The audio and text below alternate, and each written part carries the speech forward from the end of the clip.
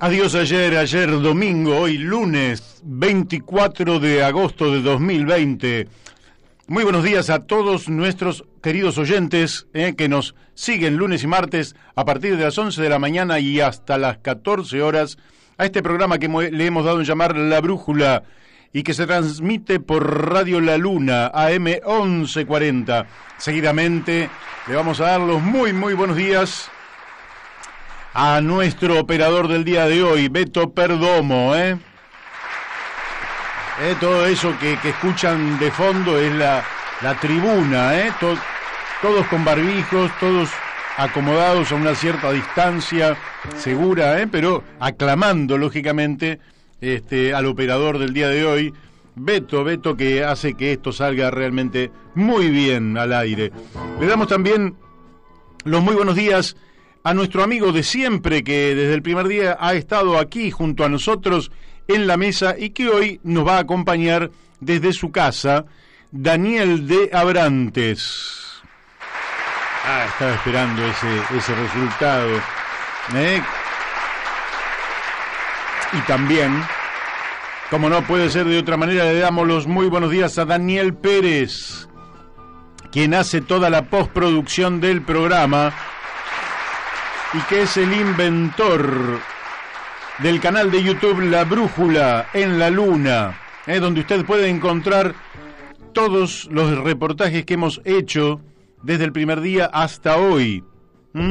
Más de 650 reportajes a figuras muy importantes y a mujeres y hombres eh, vinculados a la ciencia, a la tecnología, al conocimiento, a la educación, al ambiente, a la política, lógicamente, y a la economía. Muy bien, bueno, entonces le vamos a dar, ahora vamos a seguir. ¿Con quién? Con nuestra queridísima amiga que desde Corrientes hace posible que un conjunto importante de correntinos escuchen este programa. Me refiero a la doctora Mónica Colunga. ¿Eh? que hace posible que a través de FM 92.1 MHz, Radio Fénix de Corrientes, estemos en aquel hermoso lugar de la República Argentina. Y no podemos dejar de decirle muy buenos días a Gustavo Figini, Elvio Yadanza y Alberto Muñoz, quienes hacen posible que también esta voz que surge desde aquí, desde el Palomar, provincia de Buenos Aires, llegue hasta las alturas de la cordillera de los Andes en Uspallata, Mendoza, a más de 2.000 metros, a través de Radio La Paquita FM 88.9. Eh, y a todos nuestros oyentes que quieran enviar un mensaje lo pueden hacer al teléfono de la radio 4443 7424. Le vamos también a dar los muy buenos días a Rodolfo Fito Caballero, el profesor de música, de canto, eh, que mm, es el que musicaliza el programa eh, dentro de los lineamientos que nosotros le hemos sugerido, pero él es el que elige nuestras canciones y que ya van a escuchar. Y si usted quiere realmente aprender a cantar o mejorar eh, su expresión artística como cantante, lo puede hacer comunicándose con Rodolfo Fito Caballero en Facebook o en Instagram o al WhatsApp al 15 56 55 53 30. ¿eh? Formador de cantantes del Teatro Colón, del Teatro Argentino de La Plata, cantantes de rock, de folclore, en fin. Rodolfo Fito Caballero, comuníquense con él. Bueno, hoy vamos a tener un lindo programa, ¿eh? Como siempre lo vamos a empezar eh, con nuestros invitados dentro de pocos minutos. ¿Qué invitados vamos a tener? Bueno, vamos a tener eh, a Gabriela Troyano, eh, ex diputada o diputada nacional mandato cumplido, como se dice actualmente, con quien vamos a hablar sobre las personas con discapacidad en la Argentina. ¿eh? Tema muy, pero muy importante, muchas veces olvidadas, abandonadas o sometidas a tremendas injusticias. Con ella vamos a estar hablando. Después vamos a estar hablando con el doctor Gustavo Gómez, fiscal general de Tucumán, sobre la desaparición forzada de Luis Espinosa y un habeas corpus que se interpuso a favor de Claudio Zelaya, que es uno de los policías imputados, ¿eh? para interiorizarnos qué es lo que pasa allí y por qué el habeas corpus en estas circunstancias para un policía que está imputado, pero que ha jugado un rol importante en el esclarecimiento de este delito, que es la desaparición, allá por el mes de mayo, de Luis Espinosa. Si se acuerdan, eh, Luis Espinosa había desaparecido en Tucumán y más tarde va a aparecer el cadáver de él en la provincia de Catamarca. Después vamos a estar hablando con nuestra amiga Laura Deriu. ¿Eh? Vamos a estar hablando de múltiples temas, de política, dependencia, economía, ambiente, contaminación. ¿eh? Em, y si será posible detener la factoría colonial en que nos quieren transformar. Y más tarde ya vamos a estar hablando con Javier Llorens, uno también junto con Alejandro Olmos Gaona y con quien hemos hablado también la semana pasada, Héctor Giuliano, uno de los grandes especialistas en el tema deuda. Quiere decir que eh, los tres, que creo que deben ser los que más saben sobre el tema deuda en la Argentina, eh, habrán pasado por los micrófonos de Radio La Luna a través del programa La Brújula y hoy lo vamos a escuchar con suma atención. Vamos a tratar de que nos explique de qué se ha tratado todo este acuerdo de deuda, ¿eh? Por el cual los tres mencionados, Alejandro Olmos Gaona, Héctor Giuliano y Javier Llorens, le enviaron eh, más de una carta al presidente de la Nación. Y después vamos a estar hablando de muchos temas. Le vamos a. Seguramente nos van a estar llamando y vamos a estar conversando con nuestros compañeros.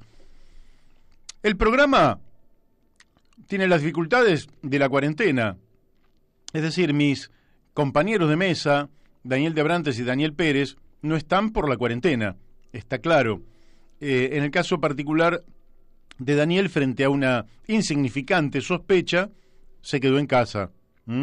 Pero seguramente hoy ya me dijo que se estaba sintiendo un poquito mejor. Y son sospechas. Cada vez que nos pasa, estornudamos y creemos que tenemos COVID-19. ¿eh? nos duele la cabeza y creemos que si sube la fiebre creemos, y está bien que así sea, ¿eh? porque tenemos que estar en estado de alerta por cualquier cosa que llegue a suceder. Pero no siempre un síntoma eh, significa que estemos contagiados o cosa por el estilo. De manera tal que da toda la impresión a esta hora de la mañana que mm, nuestro amigo Daniel de Abrantes está lejos de tener un contagio, simplemente puede ser alguna cuestión absolutamente menor, pero nos va a acompañar desde, desde su casa. ¿Qué temas tenemos hoy? Bueno, ya les he mencionado los invitados, pero me gustaría eh, aprovechar hasta dentro de unos minutos que estemos comunicados con Gabriela Troiano a decirles em, que em, vamos a impulsar desde el programa, pero también yo a través de un proyecto de ley, usted dice proyecto de ley, pero Macitelli, ¿cómo es? Bueno, no, nosotros vamos a impulsar un proyecto de ley que ojalá podamos este el año que viene coronar eh, llegando al Congreso Nacional y poder presentar ese proyecto de ley que tiene que ver con algo que usted ya nos ha escuchado, pero que seguiremos hablando del tema porque nos parece que es absolutamente fundamental. ¿Cuál es el tema? El tema es el ingreso básico universal. ¿Por qué tiene tanta importancia este tema hoy? Bastante sencillo, porque nosotros estamos en presencia de un pueblo totalmente angustiado, angustiado por múltiples problemas, pero hay un problema que es clave, que es el ingreso familiar, que es el ingreso a través del cual uno puede o no vivir con cierto nivel de dignidad en la Argentina. Y eso es un tema que nosotros venimos estudiando hace muchísimos años que ya hemos hecho varias propuestas, que hemos escrito folletos, que hemos escrito un libro, que hemos hecho conferencias, que hemos hecho la presentación, que a todos les parece bien, pero el poncho no aparece. Es decir, a todos les parece bárbara la idea, es una idea muy importante, prácticamente la dirigencia política comenzó a mencionarla eh, desde hace poco tiempo, toda la dirigencia política, eh, para afrontar dos desafíos. Dos desafíos. Uno es el de la pobreza y la indigencia y el otro el de la modernidad. El de la pobreza y la indigencia porque se mide por ingresos. Entonces, si todas las familias tienen un ingreso por ahí arriba de ese mínimo que se exige para no ser ni indigente ni pobre, nosotros estamos logrando un éxito extraordinario, que es erradicar la pobreza en la República Argentina. Excelente. Pero además es el fundamento para la modernización que requiere la Argentina. La Argentina se ha atrasado. A todas luces, en los últimos 50 años, hay un atraso, pero muy significativo en el país. Dirían en los últimos 45 años. Cuando se habla de los 70 años, es falso, de falsedad absoluta. Pero no lo digo yo, lo dice cualquier estadística.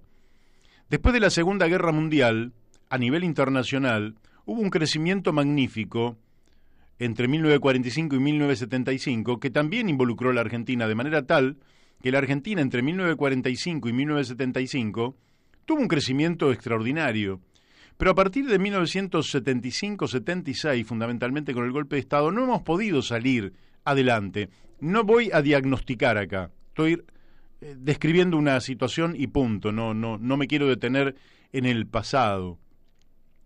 Pero eso ha hecho que la Argentina sea un país injusto y atrasado. Entonces, si nosotros logramos a través de un ingreso básico universal erradicar la pobreza y la indigencia, pasaremos a ser un país un poco más justo, o si usted quiere, un poco menos injusto. Para el caso sería lo mismo. Pero no es solo eso. La Argentina se atrasó, de manera tal que países que, por ejemplo, estaban muy lejos del Producto Bruto Per cápita de la Argentina, es decir, la producción por habitante de la Argentina, estaban pero lejísimos, como Chile. Chile ya hace 20 años que nos pasó en el Producto Bruto Per cápita y podríamos seguir porque los que estaban aún más lejos se nos han acercado. Brasil, eh, en fin, Brasil, que, es un gigante, eh, también ha acompañado ese crecimiento y se ha acercado muchísimo al PBI de la Argentina. Lógicamente, como país de 210 millones de habitantes, tiene un mayor PBI que la Argentina, pero estamos hablando de la productividad por habitante. Quiere decir que el atraso de la Argentina es eh, muy alto. Si nosotros tenemos un ingreso básico universal, vamos a poder hacer hincapié en la actualización de conocimientos de nuestra población a través de un factor estratégico que es el sistema educativo. Un sistema educativo que tiene que mantener todo lo bueno del viejo sistema educativo y tiene que incorporar lo mejor de la nueva etapa del sistema educativo. Me refiero que el sistema educativo nuestro tuvo grandes luces y esas hay que mantenerlas. La socialización a través del aula es irreemplazable y la capacitación a través de maestros, profesores, también es irreemplazable. Al tiempo que nosotros podemos dar un salto utilizando las nuevas tecnologías para que nuestra población se capacite de manera acelerada en tareas útiles a la sociedad que hagan a la modernización del país. Modernización de la infraestructura energética, modernización de la infraestructura de comunicaciones, mm, modernización de la estructura de transporte, modernización en todas las áreas en las cuales la Argentina tiene que dar un salto al futuro. Pero la clave es entender que es muy difícil discutir en la Argentina un modelo de país cuando el 63% de niños y adolescentes, conforme dice UNICEF, están por debajo de la línea de pobreza o incluso por debajo de la línea de indigencia, con lo cual ni siquiera llegan a alimentarse adecuadamente. De manera que el primer punto, el número uno, el ineludible, el insoslayable, es el ingreso básico universal. Por ahí usted escuchó renta ciudadana o ingreso ciudadano universal. Son todos sinónimos, no hay ningún problema, es todo lo mismo. Si se lo escuchó, por ejemplo, al ministro Daniel Arroyo, sí, el, concepto es el mismo, aunque en realidad lo que están planteando no es lo que se dice porque no es universal. Y la clave para que sea justo es que sea universal, que le llegue a todos, al 100%. ¿Por qué? Porque cuando usted lo focaliza, usted tiene que decir quiénes están en ese foco. ¿Y cómo hace? Necesita una burocracia estatal para que diga si la persona trabaja o no trabaja. Pero si lo voy a cobrar porque no trabajo, le digo al Estado que no trabajo y en negro voy y trabajo. Entonces no sirve, es burocracia y es mentira. La única forma de eludir todas estas argucias es hacerlo universal, para el que trabaja y el para el que no trabaja, para el que tiene empleo y el que no lo tiene, para el pobre, para el de la clase media y para el rico. ¿Cómo, Macitelli? ¿Para el rico también? Sí, para el rico también. ¿Por qué para el rico también? Porque cuando es universal es para todos. A ver si nos entendemos. Entonces el chico de, de que, que, tiene un ingreso no tiene que decir yo recibo el ingreso porque soy pobre y el compañerito es hijo de un papá rico y entonces él no lo recibe y lo mira por arriba del hombro. No, son iguales. Como el gran fenómeno de nuestra educación ¿eh? a través del delantal extraordinario, todos igualitos. Hermoso. Después, lógicamente, las identidades de las personas van a ser la diferencia, pero cuando estamos allí somos todos iguales. Como el día que votamos, todos valemos un voto. Nadie vale cinco votos o medio voto, todos valemos uno. Esto es magnífico.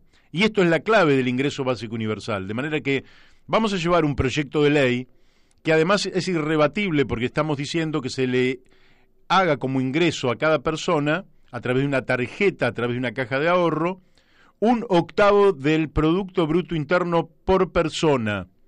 Quiere decir que de lo que el INDEC dice que le corresponde a cada persona, tomamos una porción, ¿eh? como si fuera una pizza que la cortan ocho, toma una porción y ese ingreso se lo se lo damos todos los meses a todas las personas. Y vamos a sacar a millones y millones de compatriotas de la angustia. Y cuando salgan de la angustia y empiecen a pensar en el futuro, porque nadie que está angustiado puede pensar en el futuro, es probable que podamos empezar a resolver uno a uno los gravísimos problemas que afectan a los argentinos y podamos transformar de base este país y hacerlo en ¿eh? lo que soñaron los próceres, los héroes de nuestra independencia, que sea un país justo, un país libre e igualitario, ¿eh? pero no una igualdad tonta, sino una igualdad inteligente sobre bases mínimas, idénticas para todos, bases sobre las cuales cada uno levantará el vuelo que le den sus alas, que le dé su inteligencia. Por eso vamos al 2021 con un ingreso básico universal. Bueno, espero, espero que lo sigamos desarrollando este tema. ¿eh? Ya lo hemos hablado aquí con varios invitados, con Raúl Klicksberg y con otros invitados, y lo seguiremos haciendo porque eso es la clave para el porvenir de la Argentina. Entiendo que ya nos estamos comunicando con la diputada mandato cumplido Gabriela Troyano, ¿eh? con quien vamos a hablar de este tema que realmente eh, duele. ¿Duele por qué? Y duele porque la verdad es que si alguien sufre una discapacidad no tiene por qué sumarle a esa discapacidad una injusticia. Bueno, ya estamos en contacto con Gabriela Troyano. Buenos días, Gabriela. Buenos días, Mario. Un, gusto, un placer de compartir eh, esta, esta entrevista. Bárbaro. Eh, Gabriela, eh, yo eh, observo, digamos, que el tema da para mucho, pero quiero empezar por algo que me, me sorprendió, que es que durante prácticamente una década eh, las personas con discapacidad eh, cobraron un subsidio por debajo de los mil pesos por parte del Estado. ¿Es, esto, es. ¿Es esto correcto? Sí, Mario, eso es eh, en la provincia de Buenos Aires. Ajá. en la provincia de Buenos Aires y en otras provincias argentinas también, como es el caso de Neuquén, que mira, en Neuquén cobran 317 pesos. Pero eso es un chiste. o un chiste por decir que no es un insulto, porque no, son 10 pesos la verdad que sí. Eh, no, no resisto el menor análisis. No. 350 Chubut y en la provincia de Buenos Aires 850 eh, y 1200 si es menor de edad.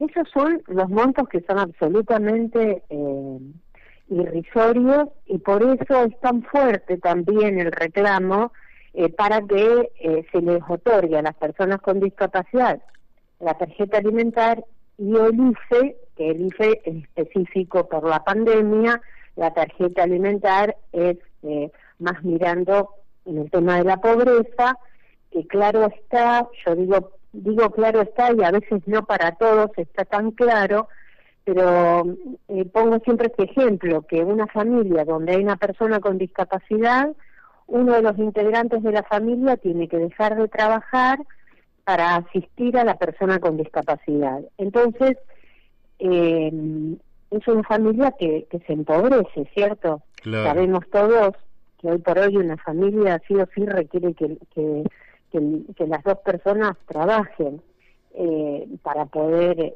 acceder a un nivel de vida digno, ¿no? bueno, es.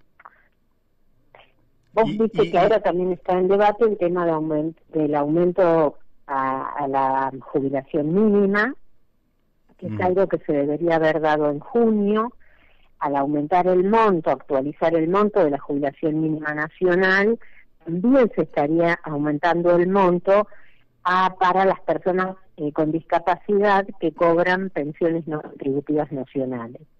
Así que, bueno, es, es un tema realmente porque las personas, digamos, que cobran pensiones no contributivas nacionales, cobran un poco más, o sea, cobran eh, 11 mil pesos, casi 12 mil.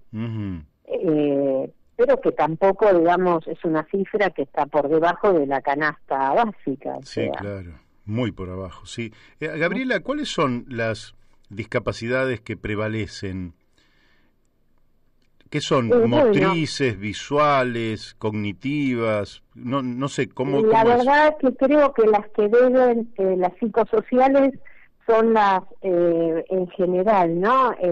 las, las mayoritarias, las psicosociales que antes estaban vinculadas con el tema de salud mental, que se llama discapacidad psicosocial, las motrices, la visual, la auditiva, y bueno, hay discapacidades complejas o múltiples, como es el caso, pero ya digamos en menor porcentaje, pero quizás las que requieren también una mayor atención, como es el tema de eh, la sordoceguera, es un mm. tema, eh, digamos, donde requieren mucho, de, eh, utilizan intérpretes de lengua de señas, pero apoyados sobre la mano de la persona, porque como la persona no ve eh, la única forma, digamos, de, poder comunicarse es a través de lengua de señas sobre la mano de la persona.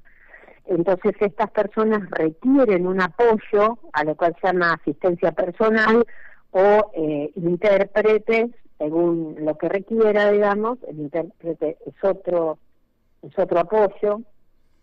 Eh, así que, bueno, todas estas cuestiones que debería, según la ley 24.901, que es eh, la ley que le otorga el 100% de la cobertura a las personas con discapacidad, es una ley que llevó adelante en su momento el diputado Guillermo Boero, eh, esa ley hoy por hoy, para, para que se cumplan, las personas con discapacidad tienen que hacer muchísimo tramiterío y mm. aquellos que, por ejemplo, tienen la pensión no contributiva nacional, que tienen el incluir salud, realmente la atención es muy, pero muy mala, es muy difícil acceder.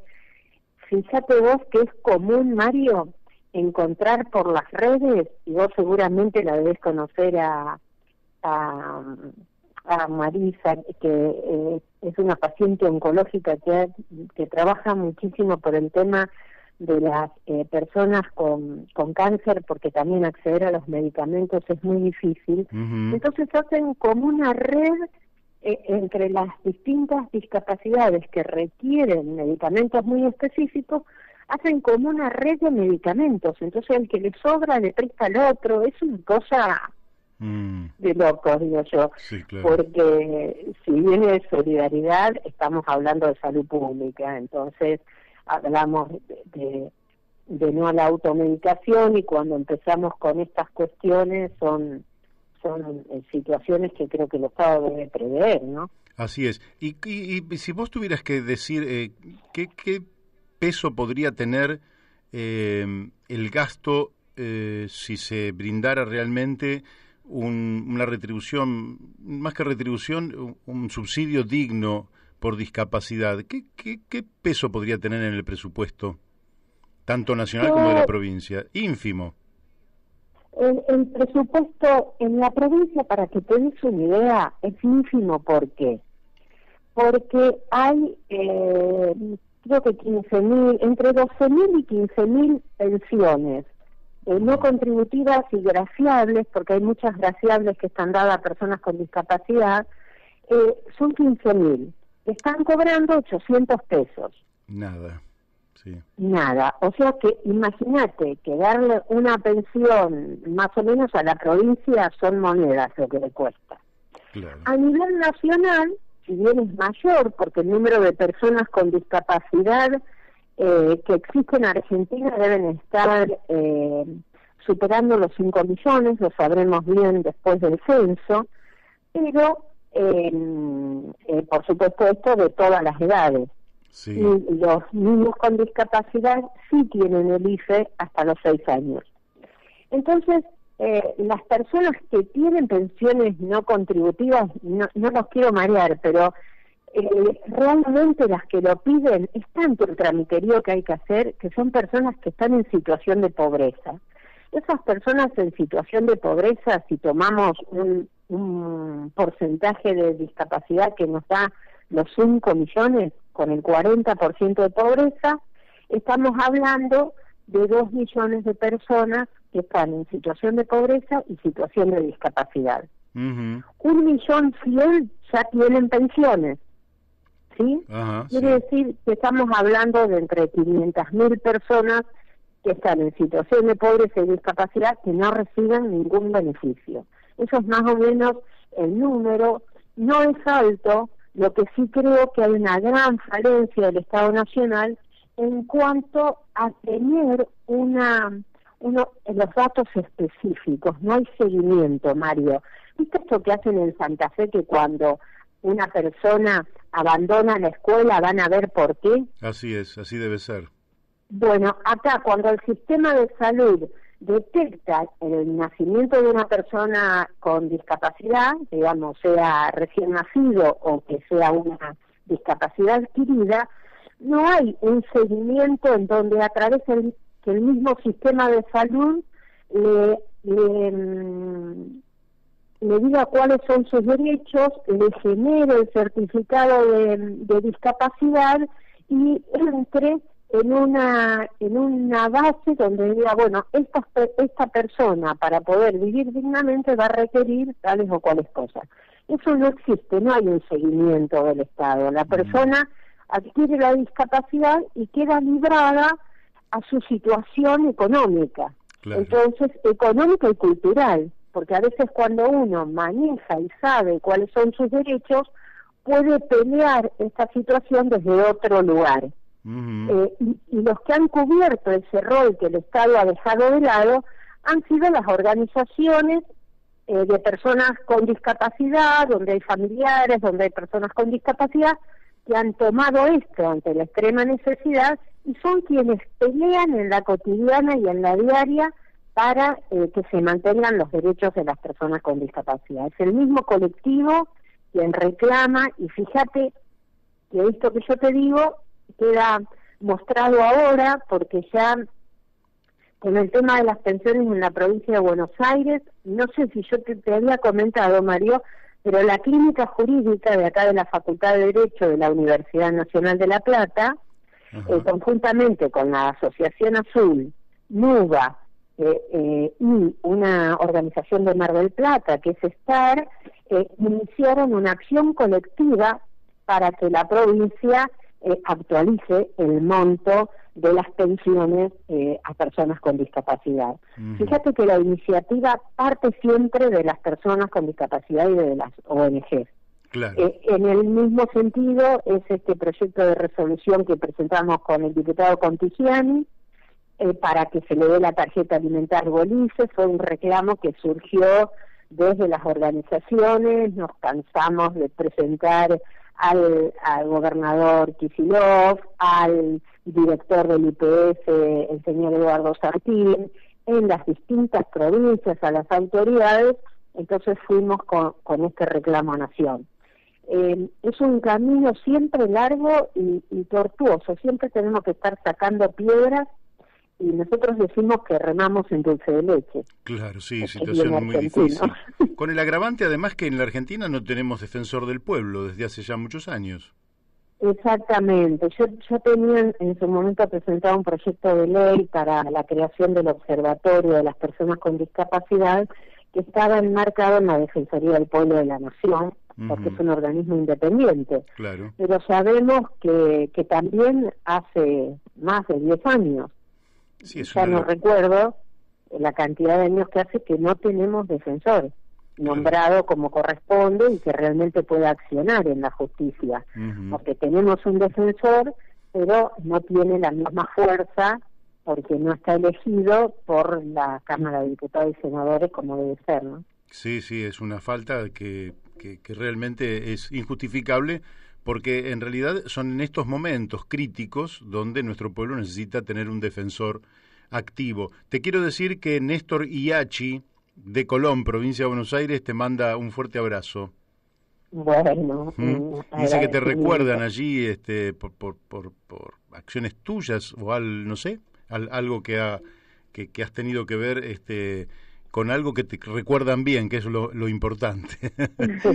lo que pasa es que cuando yo era diputada, bueno, diputada por la provincia de Buenos Aires, recorría la provincia, recorría las distintas organizaciones eh, de discapacidad y bueno, el Colón tiene, tiene talleres protegidos y tiene también eh, organizaciones que trabajan por, por la inclusión de las personas con discapacidad, así que eh, siempre digamos que recorría algún lugar eh, iba iba a visitarlo.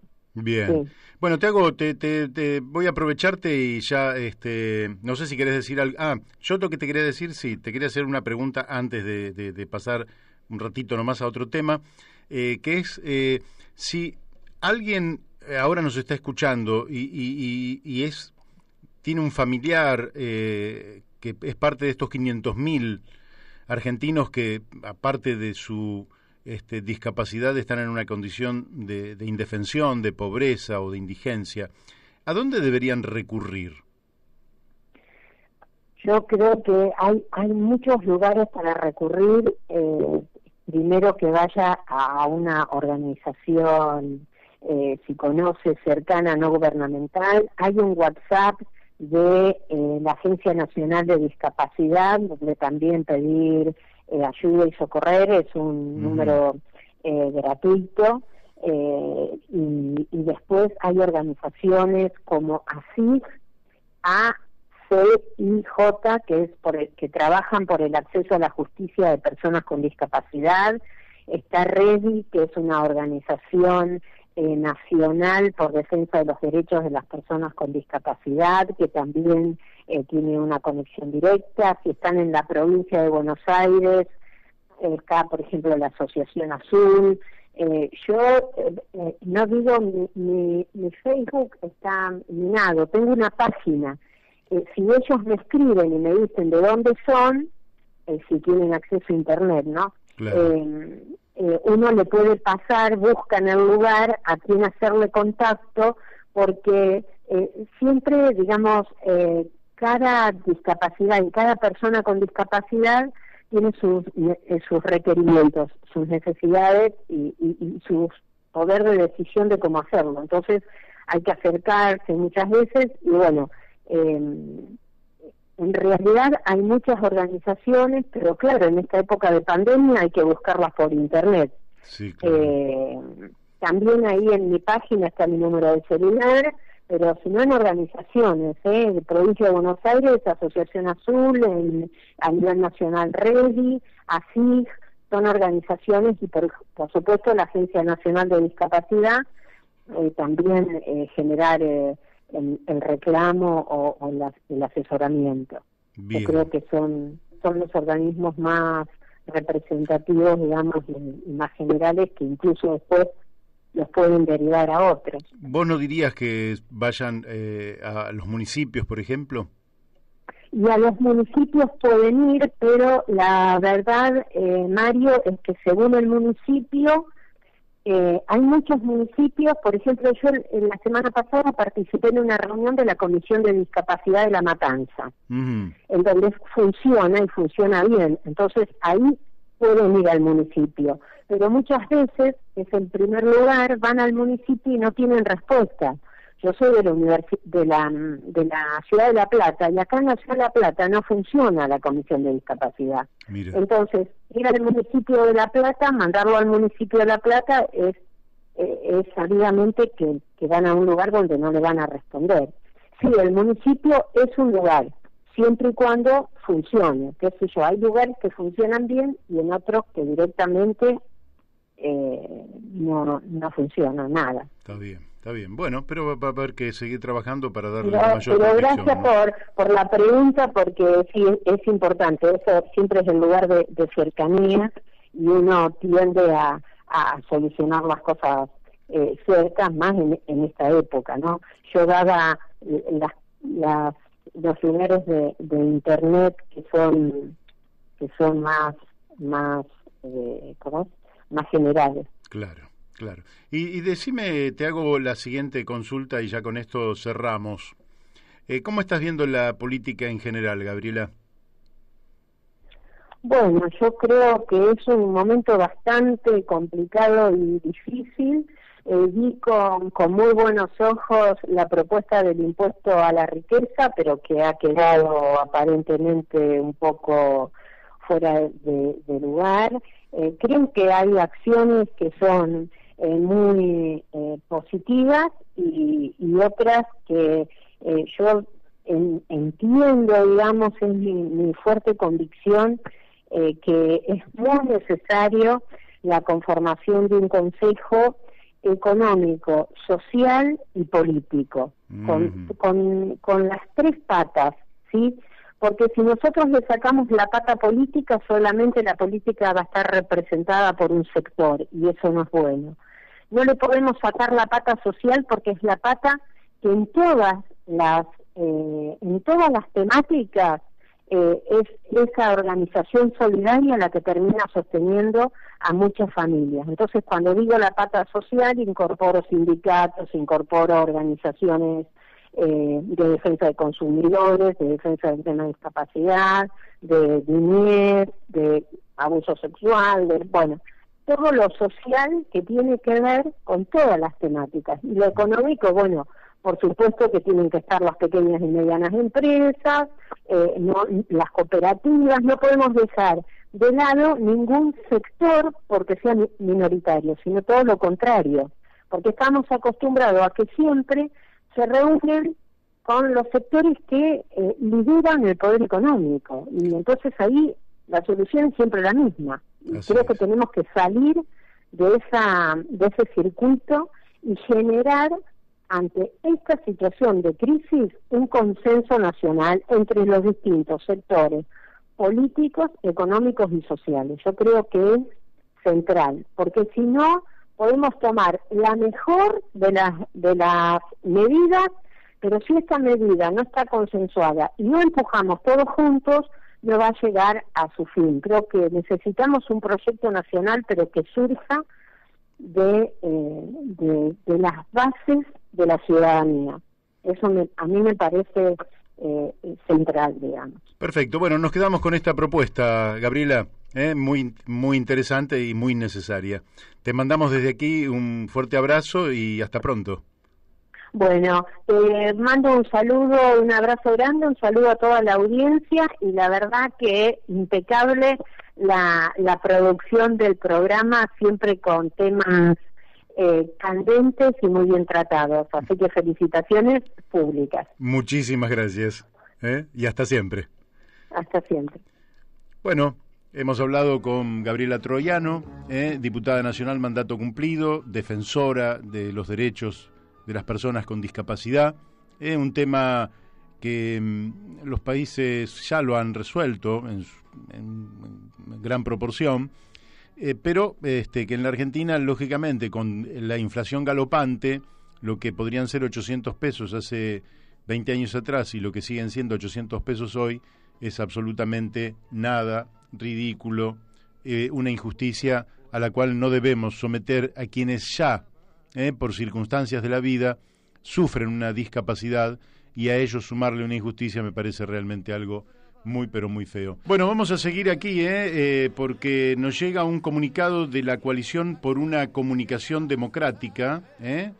Ese comunicado dice que celebra la decisión del presidente de la Nación de declarar servicio público la telefonía celular, internet y la televisión paga como un requisito necesario para asegurar el ejercicio de los derechos de acceso a la comunicación la educación, la cultura y la información previstos en nuestra Constitución y los tratados internacionales. ¿Eh? O sea, la coalición por una comunicación democrática celebra la decisión de el presidente Alberto Fernández de declarar servicio público a la telefonía celular. ¿eh? Dice más adelante, la idea central de la coalición desde su inicio fue considerar la comunicación como un derecho humano básico y por eso celebramos el dictamen del DNU 690-2020 que afirma que el derecho humano al acceso a las tecnologías de la comunicación y a la comunicación por cualquiera de sus plataformas requiere de la fijación de reglas por parte del Estado que para garantizar el acceso equitativo, justo y a precios razonables. ¿eh? Eh, bueno, después sigue de manera tal que em, mm, finaliza más o menos diciendo, reafirmamos que debemos pensar en una Argentina integrada desde la comunicación que priorice el acceso y permanencia de los ciudadanos y las ciudadanas en el sistema digital e infocomunicacional, donde nuestras mujeres, jóvenes, niñas y niños, mayores y sectores de la economía popular y pymes tengan un lugar de equidad a la hora de ejercer sus derechos a la libertad de expresión y a la comunicación. ¿Eh? Em, bueno, eh, después este, hay una fuerte crítica a eh, el DNU de Mauricio Macri, de, en fin, de, de los desastres que hizo aquel presidente que realmente fue bastante triste para la Argentina, un presidente que prometió cosas de las cuales no cumplió absolutamente ninguna, ni de la pobreza, ni de unir a los argentinos, ni de combatir el narcotráfico, ni de erradicar la corrupción, en fin, ni de mejorar la seguridad, absolutamente nada de nada. La incompetencia del gobierno de Macri es enorme y hay una franja muy importante de la sociedad que igual lo sigue respaldando. Es difícil fundamentarlo en datos objetivos de la gestión de Mauricio Macri, pero quizás se pueda fundamentar en intereses de sectores que se han visto favorecidos. Por ejemplo, si usted es un especulador de bolsa, si usted está en la trama financiera, como, como Caputo, por ejemplo, eh, lógicamente tiene que estar a favor de, de, Macri porque ha ganado mucho dinero. Si usted ha podido fugar muchísimos dólares, eh, tiene que estar a favor de Macri porque eso lo ha favorecido. Pero si usted es una pyme, un profesional, la verdad que es difícil de explicar, mucho menos si usted es un trabajador, es difícil de explicar este, que pueda respaldar a, una gestión tan, pero tan incompetente. Bueno, quiero decirles también que em, hoy lunes a las 12 horas eh, hay un foro en defensa de la vida y de la tierra. Eh, en este foro va a estar, entre otros, nuestro amigo Raúl Montenegro, eh, por Argentina. esto va a dar comienzo a las 12 horas de la Argentina. A ver, ¿dónde está esto? 12 horas de la Argentina. y diálogos del premio Right Livelihood en el Festival Internacional de Poesía de Medellín, Defensa de la Tierra y la Vida, agosto 24. Hoy a las 12 horas va a estar hablando Raúl Montenegro. Así que si quiere escucharlo eh, dentro de un ratito, mañana lo va a poder escuchar a las 12 por, por, nuestro programa. Pero si lo quisiera escuchar hoy, en Defensa de la Tierra y la Vida, a Raúl Montenegro por Argentina, eh, tendría que ir a justamente este, este foro. Lo pone en internet, Defensa de la Tierra y la Vida, y ahí va a encontrar Raúl Montenegro y a partir de las 12 lo va a poder escuchar. Este programa está absolutamente comprometido con todo lo que tenga que ver con la defensa de la tierra y de la vida, porque creemos que es una forma de defendernos nosotros. ¿eh? Este, bueno, eh, me llegan otros eh, mensajes. Uno de ellos es que em, de Daniel Pérez, eh, me dice que em, un 27 de agosto, nosotros no vamos a estar en el aire, pero sí lo podemos eh, mencionar porque estamos perfectamente vinculados al tema. Un 27 de agosto de 1920, Enrique Telémaco Susini, Miguel Mujica, César Guerrico y Luis Romero Carranza, los locos de la terraza, concretaron esa propuesta aventurada transmitiendo en directo la ópera Parsifal de Richard Wagner desde la azotea del Teatro Colón. Nacía la radio a partir de un acontecimiento pionero en el mundo. ¿eh? Aquí en la Argentina, un 27 de agosto de 1920. Fíjense que se cumplen 100 años. ¿eh? Nacía la radiofonía Qué interesante, estamos por cumplir y nosotros aquí, en la radio, ¿cómo no lo íbamos a, celebrar? ¿Cómo no lo íbamos a decir? ¿Eh? Explica Ricardo Pérez Bastida. Aquellos hombres, desde la terraza del Coliseo, fueron pioneros. No hay que olvidarlos, marcaron un hito en la comunicación en el mundo. En 1934 se realizó en Buenos Aires un Congreso Internacional de Radio con la participación de 40 países. Ahí se reconoció aquella emisión como la primera transmisión radiofónica del mundo. ¿Qué les parece? Extraordinario. Bueno, me aclaran que eh, había un error. Es el Teatro Coliseo, no el Teatro Colón, ¿eh? Em, así que, bueno, qué orgullo, ¿eh? Y nosotros hoy estamos em, Ahí está. Hoy el Festival de Ricardo Parsifal, con la actuación del tenor Mastri, la soprano argentina Sara César, todos bajo la dirección de Félix von Wingardner, secundados por el coro y orquesta del Teatro Constanzi de Roma. Ah, amigo. Bueno, no salía muy, muy amable la transmisión faltaba ecualizar, pero es la primera transmisión de radio del mundo, de radiofonía del mundo. Es un mérito absolutamente extraordinario. Lógicamente todo aquello fue transformándose a medida que las comunicaciones lo fueron permitiendo y la tecnología se modificó absolutamente eh, en forma sustancial desde aquel tiempo, pero esos pioneros, eh, como aquellos que en 1903 intentaron volar en avión y fueron los primeros aviones. Si uno mira aquellos aviones, le parecen ridículos, pero esos pioneros, a través de esos primeros pasos, empiezan a transmitir la posibilidad de que eso es eh, factible, que eso es realizable, que eso se puede hacer.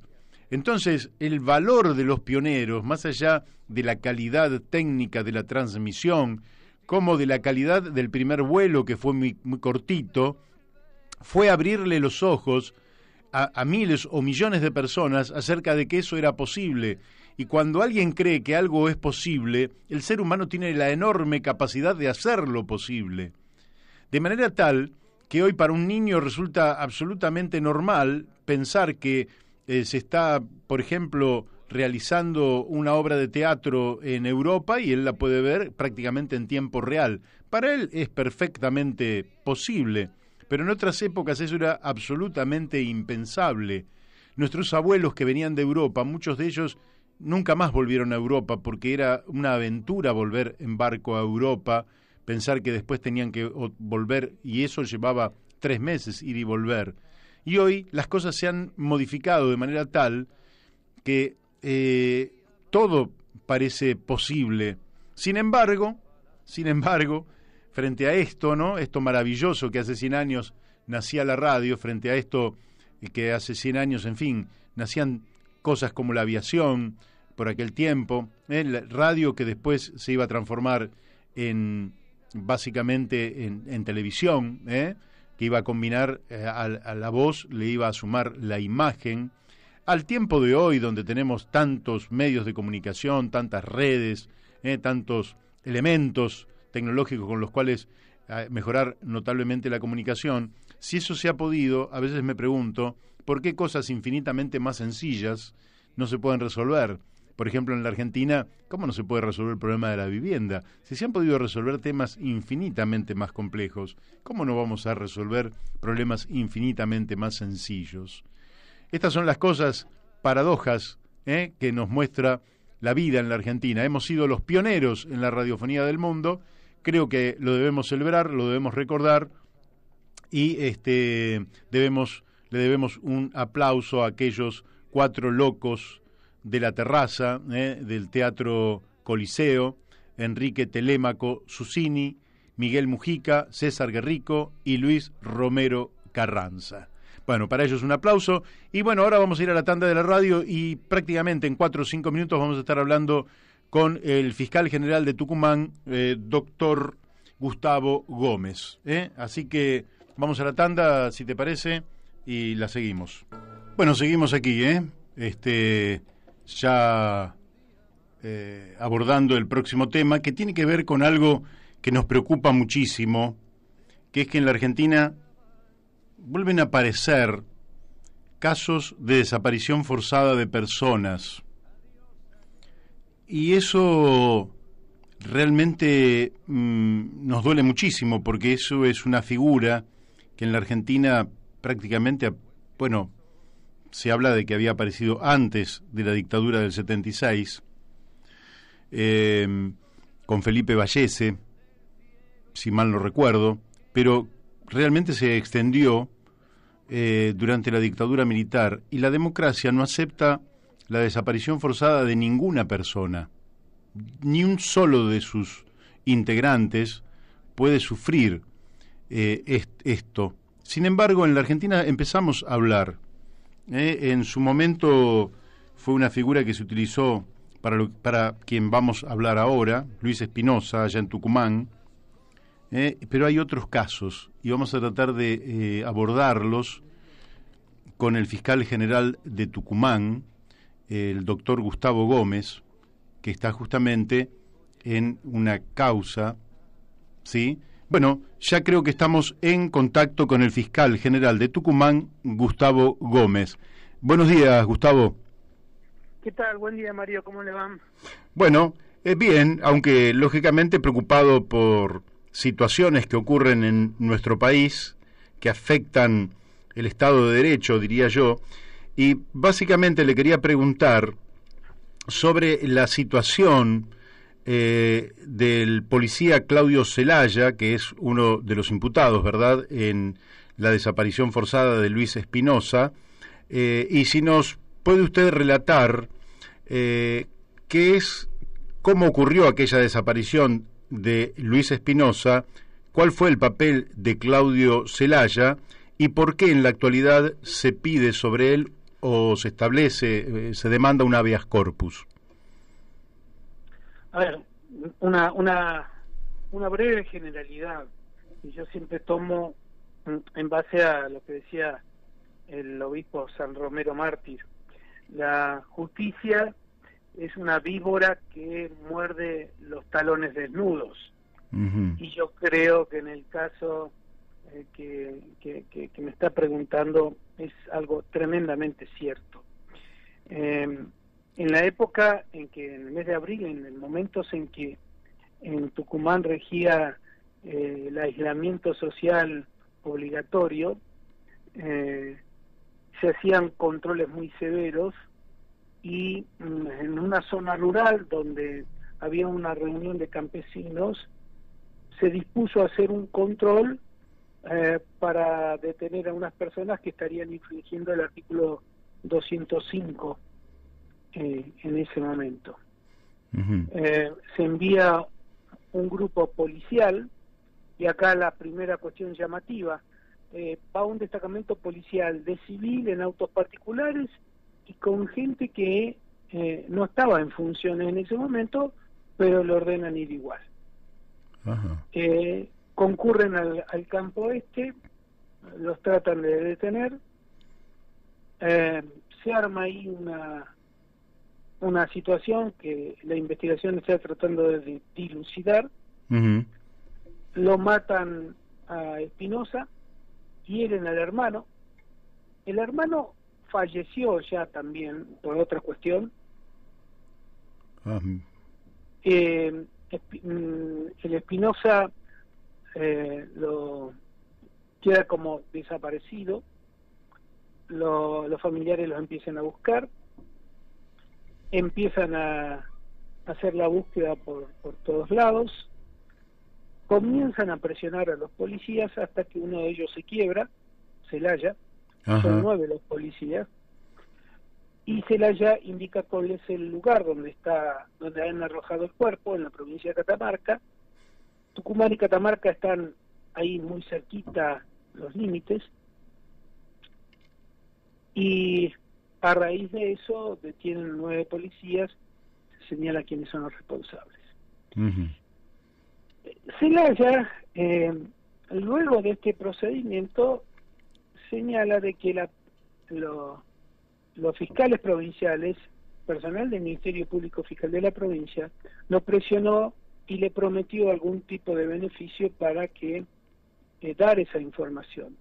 De hecho, Celaya no habría sido el que lo mató a Espinosa, sino que habrían sido otras autoridades que manejaban armas de fuego.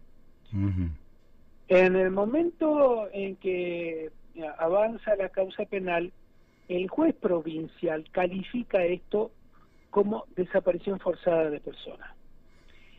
Y lo raro es que el pedido del fiscal de desaparición forzada de personas y la calificación del juez de desaparición forzada de personas es que no se declaran incompetentes. Este es un delito federal. Ah, claro. Si vos tenés en cuenta el caso Maldonado, por ejemplo, en Esquiel, o el caso reciente de este joven de Bahía Blanca, Astudillo Castro. claro, son casos que están siendo investigados por fiscales federales. Pero el caso Espinosa está siendo investigado por justicia de la provincia. Entonces, acá es la primera irregularidad grave que se advierte. La segunda irregularidad es que la investigación pareciera que va a quedar nada más que en estos policías. Es decir, tenés un caso donde la causa penal se inicia por infringir el aislamiento ordenado por un presidente de la nación, por el artículo 205, que como en Buenos Aires es un delito federal. Claro. Tenés una desaparición forzada de personas y a pesar de todo esto encima se declara competencia de la justicia de la provincia. Lo que sostiene el abogado Celaya es que acá se está encubriendo a alguien más, porque acá no existiría otra posibilidad, ya que es muy raro que hayan ido de civil en autos particulares y encima hayan convocado a gente que estaba de, de, licencia, que estaba de, feria, sin trabajar. Pero pareciera que la justicia de la provincia no quiere seguir investigando para arriba. ¿Qué, ¿Qué origina el habeas corpus? Bueno, que a Celaya se lo quiere trasladar junto con los otros policías a una cárcel común, lo que nosotros conocemos acá como Villa Esto pone en riesgo su vida. Claramente. Claramente. Entonces, ahí es donde nace el habeas corpus y ahí es donde el abogado de Celaya está pidiendo y con mucha urgencia que se declare la competencia federal para este caso. El, el juez de primera instancia federal le dice que no, la Cámara Federal dice que no, pero como yo creo que hay que hacer el lugar, porque entiendo de que acá hay que investigar más arriba de esta situación, he pedido la intervención de la Cámara Federal de Casación Penal en Buenos Aires y bueno, veremos si tengo éxito. Qué importante sería, porque la verdad es que nosotros este, no, no hablábamos ya de desaparición forzada de personas y eh, empezamos a notar que se repiten hechos que lógicamente pueden estar eh, manifestando eh, no, digamos, una instrucción del poder político, pero quizás un dejar hacer del poder político que sería absolutamente peligroso porque eso sería como autonomizar a las fuerzas policiales para que hagan lo que quieran y en lugar de tener límites perfectamente establecidos, se extralimiten eh, con la cobertura del poder político. Esto, ¿cómo lo ve, cómo lo ve un fiscal esta, esta situación? Es que has calificado exactamente como lo dice el artículo 142 ter.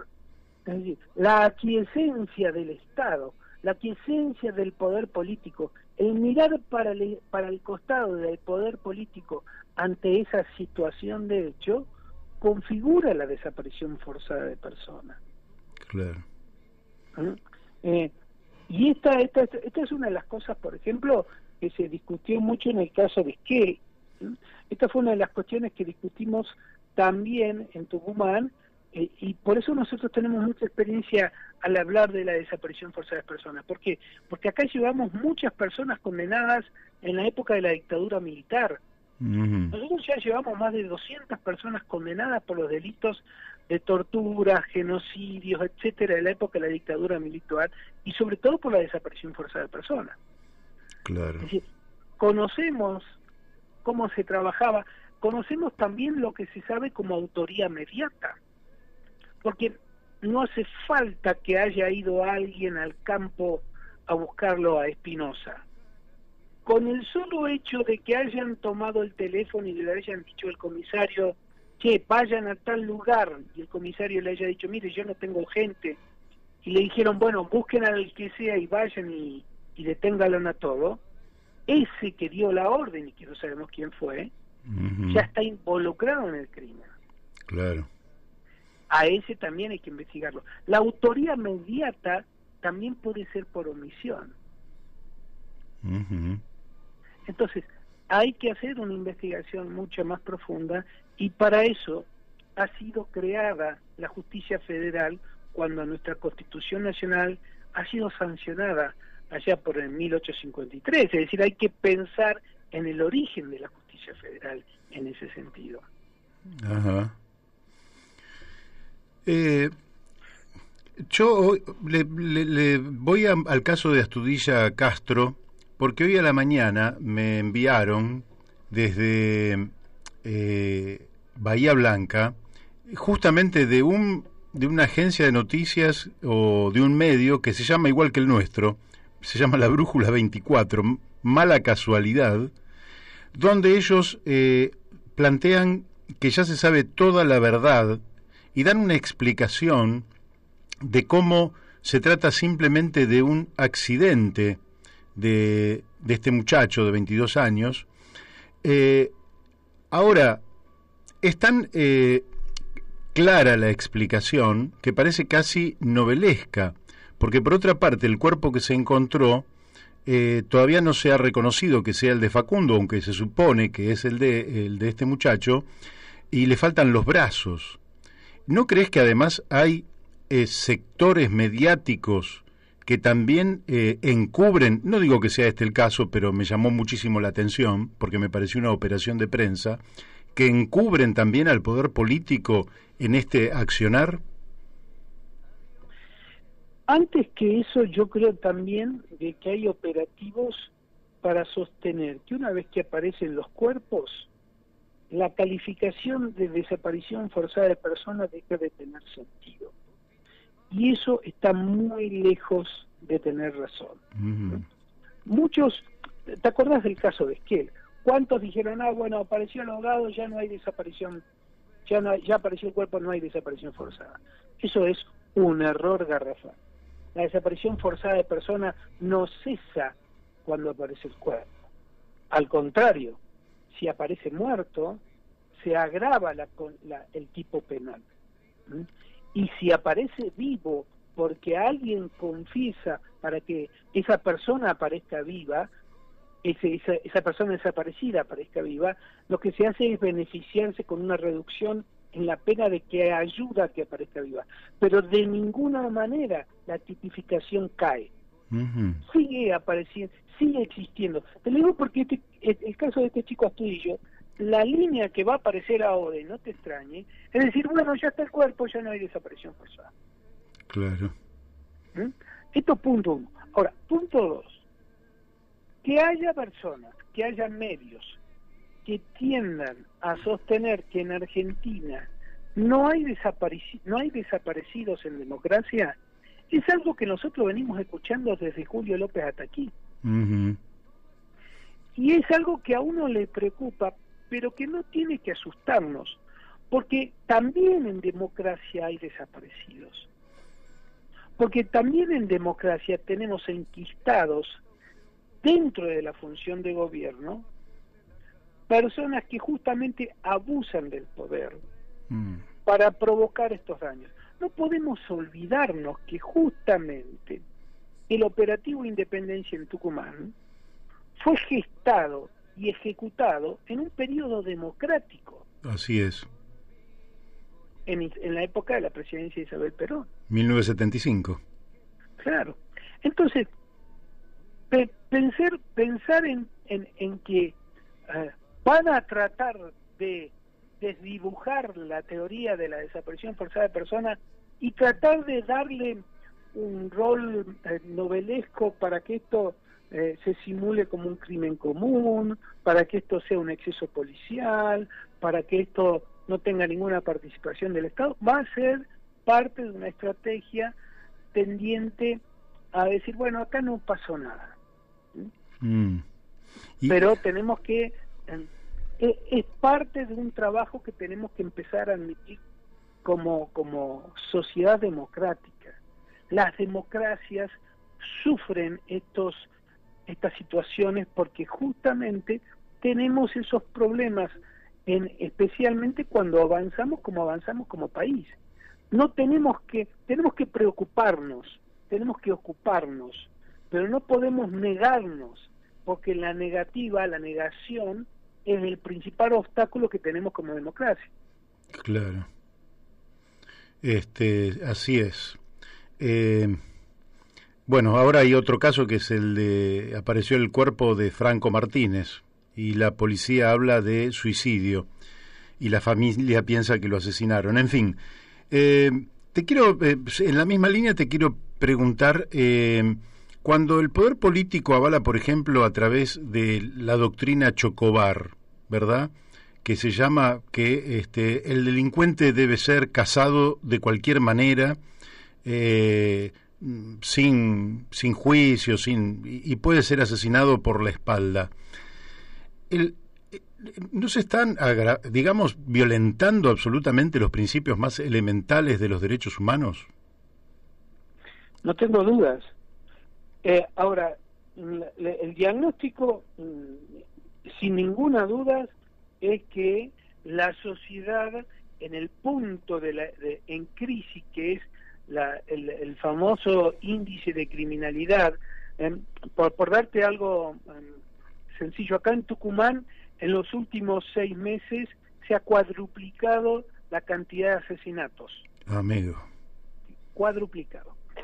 Em, la gente cada vez toma más justicia por mano propia, mm. que es más o menos una réplica de lo que puede ser en el caso de Chocobar, nada más que en manos de los particulares. Ahora, yo tengo para eso un pequeño diagnóstico y es el, el fracaso del sistema de administración de justicia. Em, me resultaría muy fácil echarle la culpa a la policía, pero tengo que admitir de que el Servicio de Administración de Justicia Penal es un fracaso absoluto, total. De los servicios que brinda el Estado Nacional, provincial, el Servicio de Administración de Justicia es el peor y el más caro. Y justamente tenemos este nivel de criminalidad y este nivel de abuso policial porque justamente fracasamos nosotros en ese sentido.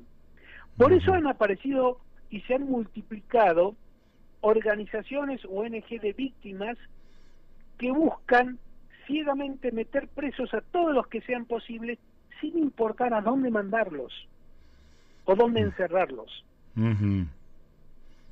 Por eso están furiosos con, eh, no sé, nosotros tenemos una cárcel de mujeres acá donde se han dado varios casos de COVID. Y la propuesta nuestra ha sido, bueno, a ver, saquemos a las mujeres que tenemos los casos de COVID y mandémosla a un hotel, a un pequeño hotel que hay, para aislarlas en ese lugar y para no propagar el contagio dentro de la cárcel. ¿Cuál fue la respuesta de la gente? Ajá, encima que están condenadas las mandamos a un hotel. Claro. Eh, la verdad es que la situación es tan crítica en el marco del fracaso en cuanto a la administración de justicia para los casos penales que la sociedad ya está, se ha cegado a tal punto que lo que quiere no es justicia sino venganza mm. y ahí ve a la policía como su arma vengadora y justifica cualquier chocobar claro está muy bien la explicación lo que olvida esto eh, eh, Gustavo, es que los espirales de violencia se retroalimentan. Es decir, que em, yo recuerdo en el año 1985, nosotros, eh, bueno, eh, asesorábamos al gobierno de Armendaris y en una oportunidad fuimos a, la escuela Bucetich y hablamos con el jefe de policía de la provincia de Buenos Aires, cuyo nombre no recuerdo exactamente, pero él nos comentaba que los abusos durante la dictadura habían hecho que muchos delincuentes que en otra etapa se hubieran entregado porque ya estaban, en fin, eh, rodeados, por decirlo de alguna manera, en esta etapa los tipos, sabiéndose muertos, eh, resistían y mataban, por ejemplo, a un policía porque se había generado una espiral de violencia donde no había manera de pararla. Y bueno, lógicamente la democracia tenía que hacer un esfuerzo por este, detener aquello. Si, si se habilita a cualquier abuso de un lado, por más que de un lado se supone que están los buenos y del otro están los malos, aunque la vida nunca es de esos, en esos términos, lo que, va, lo que se va a tener es la misma respuesta del otro lado. ¿Te parece que se evalúa esto así o se piensa que se tira solamente de un lado? yo no sé si, si podemos pensarlo eh, en un sentido tan eh, tan en blanco o negro. Eh, para ponértelo en, otro campo, la, la, la, proporción de casos de violencia en, en, crímenes en este momento lo tenemos con un con una mano muy fuerte de la droga, con una participación muy fuerte de adictos, es decir, la, mayor casa de los asesinatos, los motochorros, eh, están eh, muy impactados por el tema de la, del narcotráfico. A mí me vienen a ver a la oficina muchas mamás que a veces caen presos los hijos eh, por situación de adicción y piden por favor que no los dejemos salir. Porque en, en algunas cárceles que tenemos no hay posibilidad que le ingrese la droga, entonces el hecho de que no les de que pasen el síndrome de abstinencia dentro de la cárcel y se limpien dentro de la cárcel por la falta de droga les posibilita eh, eh, la, tienen una luz de esperanza de que cuando salgan este, salgan al menos sin sin la adicción. Bien ahora en ese cuadro de situación donde nosotros tenemos un impacto muy fuerte de los adictos yo le propuse en su momento a la, actual ministra de, Justicia que preparáramos otra vez en el campo de los hoteles, viste que con este tema de COVID están muchos hoteles cerrados. Sí, claro.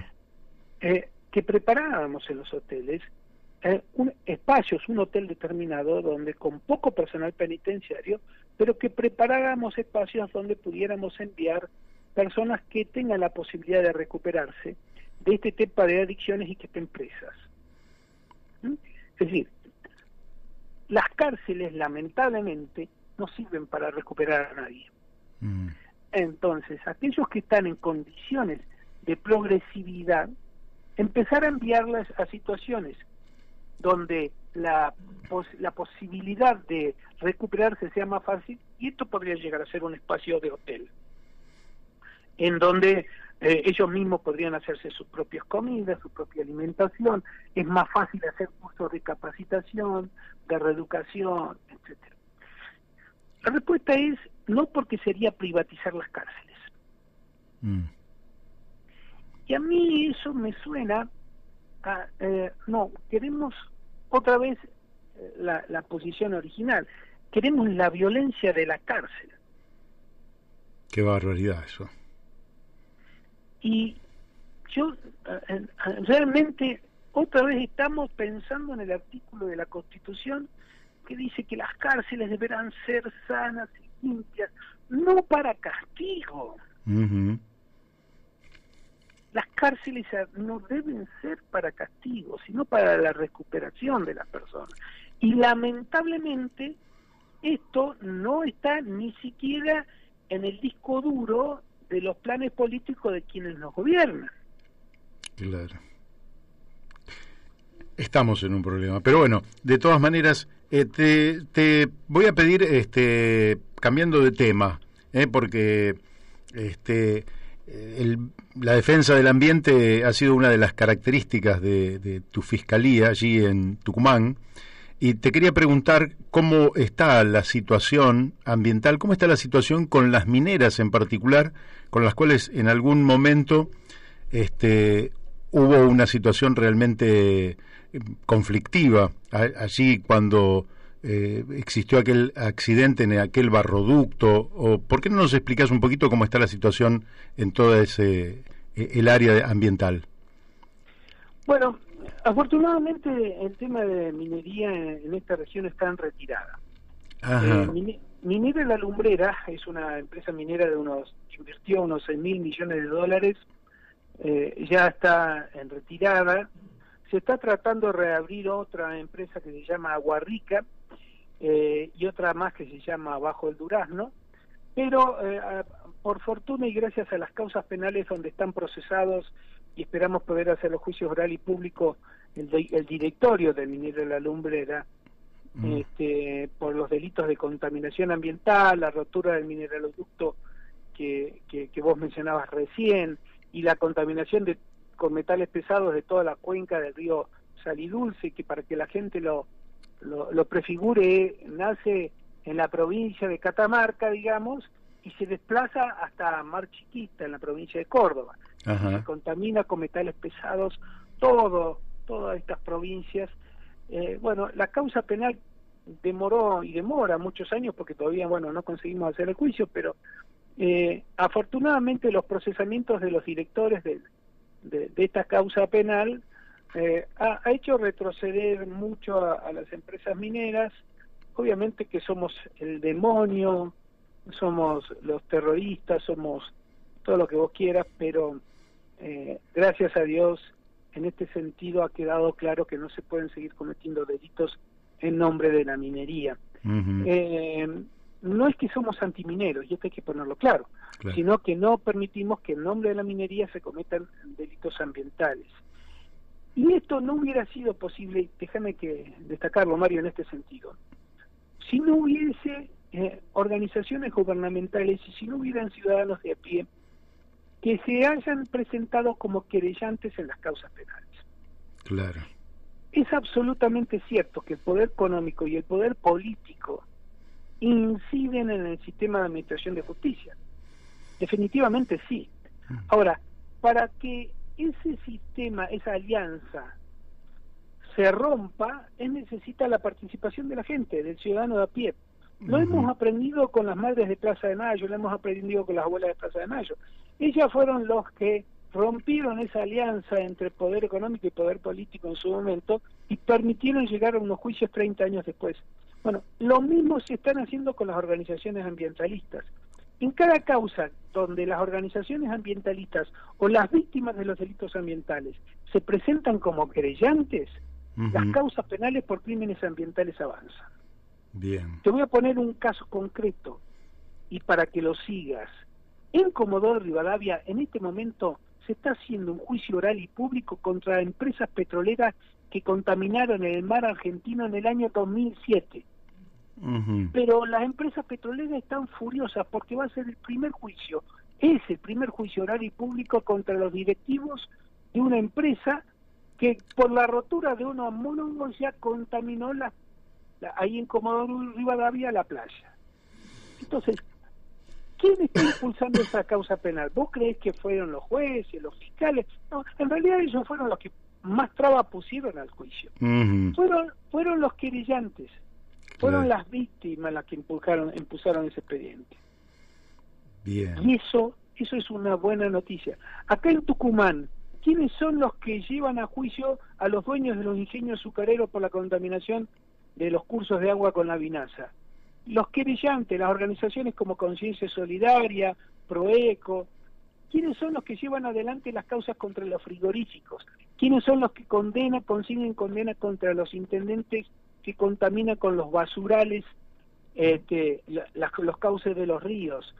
¿Quiénes son los que consiguen sentar a prestar declaración indagatoria al presidente de la empresa del tratamiento de los líquidos cloacales? Es una mujer, es una señora que se le llenó la casa con líquidos cloacales, dijo basta, se consiguió un abogado, un patrocinio jurídico gratuito y empezó una querella penal que ha puesto en tela de juicio todo el sistema cloacal de la provincia de Tucumán. Mira. Qué interesante, qué interesante. ¿Cómo, cómo has visto este, esta lucha eh, bárbara de, por, lo exitosa, pero que está sometida siempre a la presión del poder político y económico que se da en Mendoza, donde tienen una ley. Eh, nosotros la semana pasada hicimos una entrevista a un miembro de la Asamblea por el Agua resulta que tienen una ley y el poder político y el poder económico todo el tiempo están buscando, que es la ley 7722, eh, contra la contaminación por, por, determinados este, eh, químicos, y, resulta que el poder político todo el tiempo está como avanzando eh, contra esta ley y, y la movilización popular es la que lo ha impedido. Pero vos, ¿qué recomendarías para que hagan estas asambleas y que el poder político definitivamente abandone la idea de hacer una minería que para la, el agua de Mendoza, que es escasa, y la principal actividad, que es la viticultura, sería realmente catastrófico. Tú sabes que yo, a mí me gusta mucho salir, en estos tiempos lo, hacemos a través de los de los medios electrónicos, pero eh, en otras épocas a mí me gustaba mucho salir a dar charlas, suelo dar charlas por varios lugares y a Mendoza hay varias oportunidades. Pero mm. nunca conseguí que allá se iniciara una causa penal, una querella penal por el tema de los delitos ambientales que se cometen en Mendoza. No sé por no sé por qué extraña razón, ¿no? Todavía no lo tengo muy en claro. Pero eh, siempre insistí en que hay que iniciar querellas penales en Mendoza por los delitos previstos por la ley 24.051 que lo establece como delitos federales porque eso sería la garantía a futuro, no solo para preservar la ley provincial, sino para que ningún loco empresario y ningún funcionario público se le ocurra jamás volver a hacer algo en contra de eh, el agua, de la contaminación del agua. Tienen tienen posibilidades concretas muy interesantes. Por ejemplo, la explotación petrolera por fracking en la zona de Malargüe o la, o la explotación o, o, el tema de la mina de uranio que tienen ahí arriba de San Rafael. Sí. Es, es, muy interesante la cantidad de casos que pueden ser utilizados en Mendoza para abrir causas penales, para presentarse como querellantes en causas penales por delitos ambientales en Mendoza. Pero hasta aquí pareciera de que la actividad ha sido más bien política. Yo siempre digo que para que seamos realmente exitosos en la protección del medio ambiente, hay que utilizar las dos manos. ¿eh? Eh, eh, yo tengo una imagen que utilizo mucho en las charlas, que es una grulla tragándose un sapo. La grulla es este poder económico y político, el sapo somos nosotros. Pero el sapo tiene las dos manos afuera y le está apretando el cogote a la grulla. Entonces, la mano izquierda de la grulla es la sociedad militante, la que reclama, la que pelea. La mano derecha de, perdón, del sapo es la sociedad militante la que pelea. La mano derecha del sapo es la justicia, el sistema de administración de justicia. Si nos juntamos los dos y le apretamos el cogote a la grulla, le vamos a quitar el aire y nos va a soltar. Y vamos a poder preservar el ambiente. Yo creo que la, la, pelea tiene que ser en conjunto.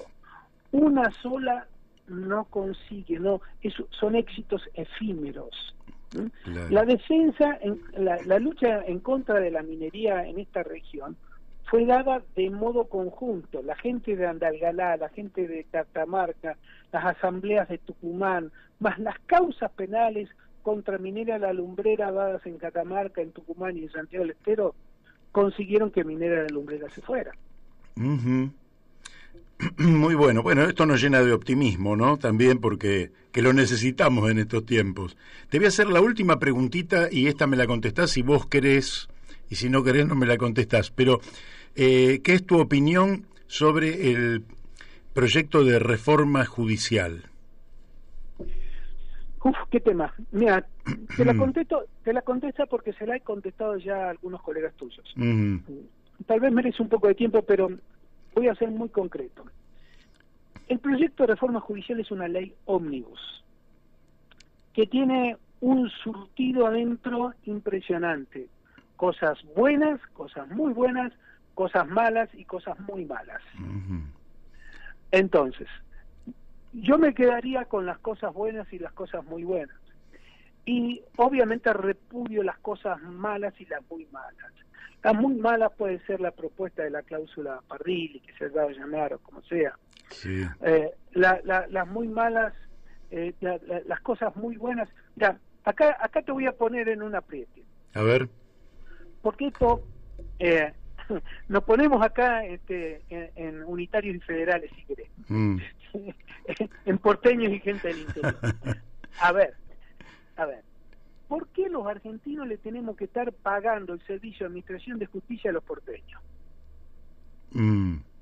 Todo lo que es la justicia nacional, que vendría a ser la justicia provincial nuestra, todo lo que son los jueces nacionales, los juzgados nacionales que atienden los homicidios comunes, las violaciones, etcétera, los juzgados nacionales civiles y comerciales de capital federal, que vendría a ser los juzgados provinciales nuestros, pasan a la órbita de la ciudad de Buenos Aires. A esos jueces y fiscales, que son cientos de juzgados, los estamos pagando todos los argentinos. Claro. ¿Por qué tenemos que pagarles nosotros la justicia de los porteños? A mí eso me parece bueno. Hay que terminar, hay que darle a la ciudad de Buenos Aires todo el servicio de administración de justicia ordinaria, así se llama, y quedarse con los federales. ¿Entendés? Eh, esto, esto me parece importante. Por otro lado, yo cuando a mí me dicen de que eh, el kirchnerismo quiere colonizar la justicia, yo la verdad que lo pongo en duda y te explico por qué. Nosotros tenemos en el país el 30% de vacantes en los cargos de jueces y fiscales. Es decir, si vos tenés un sistema de administración de justicia donde te falta nombrar el 30% de jueces y Claro, con nombrarlo ya, claro. vos no necesitas este proyecto de ley para colonizar la justicia. qué interesante. ¿Entendés? Así que no me parece un argumento válido para atacarlo a este proyecto. Y finalmente, pensar que todos estos juzgados que se van a crear son necesarios y es un verso. Nosotros tenemos en Tucumán, para que vos tengas una idea, la Cámara Federal de Tucumán tiene cinco jueces Hay tres vacantes. Tres vacantes. Tenemos una cámara de cinco, está trabajando dos. En la Fiscalía de Cámara que yo tengo, tengo en fiscales de primera instancia, tengo dos vacantes. Eh, tenemos vacantes en Santiago del Estero, en Catamarca. La verdad es que tenemos tantas vacantes que apenas si podemos funcionar. Estamos echando mano a subrogantes de buena voluntad. Claro. Entonces, yo, yo no entiendo mucho esto. Y encima van a crear más juzgados, como dicen que van a crear. Si ya tenemos juzgados creados, no sé si saben, pero en realidad dicen que van a crear una Cámara Federal en Santiago del Estero, por ejemplo, que lo van a hacer para pagarle el favor al gobernador Zamora de que los senadores de Zamora voten este proyecto, andan diciendo por ahí. Si ya está creada esa Cámara Federal de Santiago del Estero, falta nombrar los jueces. Entonces, a ver, me parece que tenemos, hay, hay que leer con claridad ese trabajo, hay que leer con claridad ese proyecto. La vez pasada, para un programa de radio local, nos sentamos con un locutor y empecé a puntualizar cada uno de esos puntitos. Pero miren, esta es una ley ómnibus. Tiene cosas malas, tiene cosas buenas. El tema de Comodoro Pi, y yo siempre digo que es un problema de los porteños, que Comodoro Pi siempre fue una aspiradora de los problemas del interior del país y la gente del interior del país siempre ha dicho, los juzgados federales, a ver, la construcción de las famosas rutas en, la provincia de Santa Cruz, ¿no? Sí. Es un problema de Santa Cruz, de la justicia federal de Santa Cruz. Pero cuando de Comodoro Pi dijeron, no, es competencia federal nuestra, ¿qué cree que dijo el juez federal de Santa Cruz? Sí, cómo no, yo Claro. Se sacó el tema de encima. Sí. Así que vos, este, pero claro, e, es difícil dar una opinión sobre algo que es tan eh, abarcativo. Pero vos pensás que si hubiera que hacer algo en primera instancia, en torno a mejorar el servicio de justicia es eh, completar las vacantes que están ausentes en la actualidad. Nos urge, estamos, es urgente. Yo le he mandado notas al presidente del Consejo de la Magistratura, a la presidenta de la Comisión de Acuerdo del Senado, a la ministra de Justicia, al presidente de la Corte, porque ya no damos más. No puede funcionar una Cámara Federal que tiene jurisdicción en tres provincias con dos jueces cuando los cargos son cinco. Claro. Eh, ¿Entendés? Y la respuesta cuál es? Y se mira en el ombligo en Buenos Aires. Hmm. Eh, y eso a nosotros nos duele, no solo en el amor propio, sino en las fallas en que estamos respecto al resto del servicio de justicia. Sí. Eh, es, es, esa traba fundamental que tenemos. Y con razón, muchas veces miran para el norte y dicen, oh, qué justicia corrupta. Caramba, si las veces que tenemos acá, en el ejercicio de mi función de fiscal, me ha tocado abrir causas penales contra jueces federales, juzgarlos y condenarlos por delitos de corrupción. Mm. Y, nos ha, y nos ha costado cubrir esos cargos de jueces federales después una enormidad. Sí, sí, claro. Bueno, eh, fiscal general de Tucumán, Gustavo Gómez. Este, le agradecemos muchísimo la amabilidad eh, y lo he tratado de usted. Hoy podría haberlo. Este, nos tuteamos siempre, Mario. Nos tuteamos siempre, pero bueno, así emergió porque digo, así presenté al fiscal general de Tucumán y daba la impresión de que correspondía eh, tratarlo de usted, pero en realidad siempre nos tuteamos. Yo te agradezco muchísimo el tiempo que has dispensado para nuestro programa y pienso que en no mucho tiempo nos gustaría, nos encantaría volverte a molestar. No hay, no hay problema, no hay problema. Mi dificultad mayor son las audiencias, coincidir con el horario de ustedes, que es mi horario de trabajo. Claro. Este, pero, pero bueno, hoy ha sido un día eh, tranquilo para nosotros porque incluso se ha detectado un caso de COVID acá en mi oficina y, este, y estamos solos, entonces no tenemos problema. Bueno, bueno, que se mejore la persona afectada y te mandamos un fuerte abrazo. Chao, Mario, un abrazo grande. ¿eh? Muchísimas gracias. Bueno, ustedes lo han escuchado, ¿eh? eh yo creo que es eh, uno de los mejores representantes del Poder Judicial en la República Argentina y para mí es un honor poder entrevistarlo. Y ahora estamos en contacto con nuestra querida amiga Laura Deriu, desde Mercedes. Buenos días, Laura. Hola Mario, buen día, ¿cómo te va? bien, bien. Estaba escuchando la parte final, este, eh, de este reportaje muy interesante, por cierto. Eh, me preocupa un poco este tema de que si la sociedad civil, si el particular no sale a demandar, eh, pasan cosas horribles. O sea, uno tiene que pensar que este sistema representativo debería tener quienes defiendan nuestros derechos, quienes protejan el ambiente, quienes protejan nuestra salud, bajo la forma de diputado, senador, concejal, intendente, gobernador, ministro de Ambiente, secretario de Ambiente, dirección de, director de Medio Ambiente. Ahora, por lo que dijo el fiscal, dejó claro que si el ciudadano, el damnificado, no sale, lo pasan por arriba. Absolutamente. todos los logros son individuales, particulares. Entonces uno se pregunta, ¿para qué tenemos un sistema de este tipo representativo? Vayamos a la democracia directa, porque ¿quiénes nos representan? Porque además le estamos pagando para que nos representen, y muy bien le estamos pagando. Y muchas veces se dan lobbies también, ojo que a veces el poder judicial también hace lo que quiere el poder político. Y se ve esto en, muchas cuestiones. Los reordenamientos territoriales en contra de la ley de bosques que hubo en el NOA, en el NEA, en Salta, eso se hizo, el, Poder Judicial ahí le dio la espalda a este, a este tema. Se violó sistemáticamente la ley de bosques todo el tiempo, nunca se presupuestó.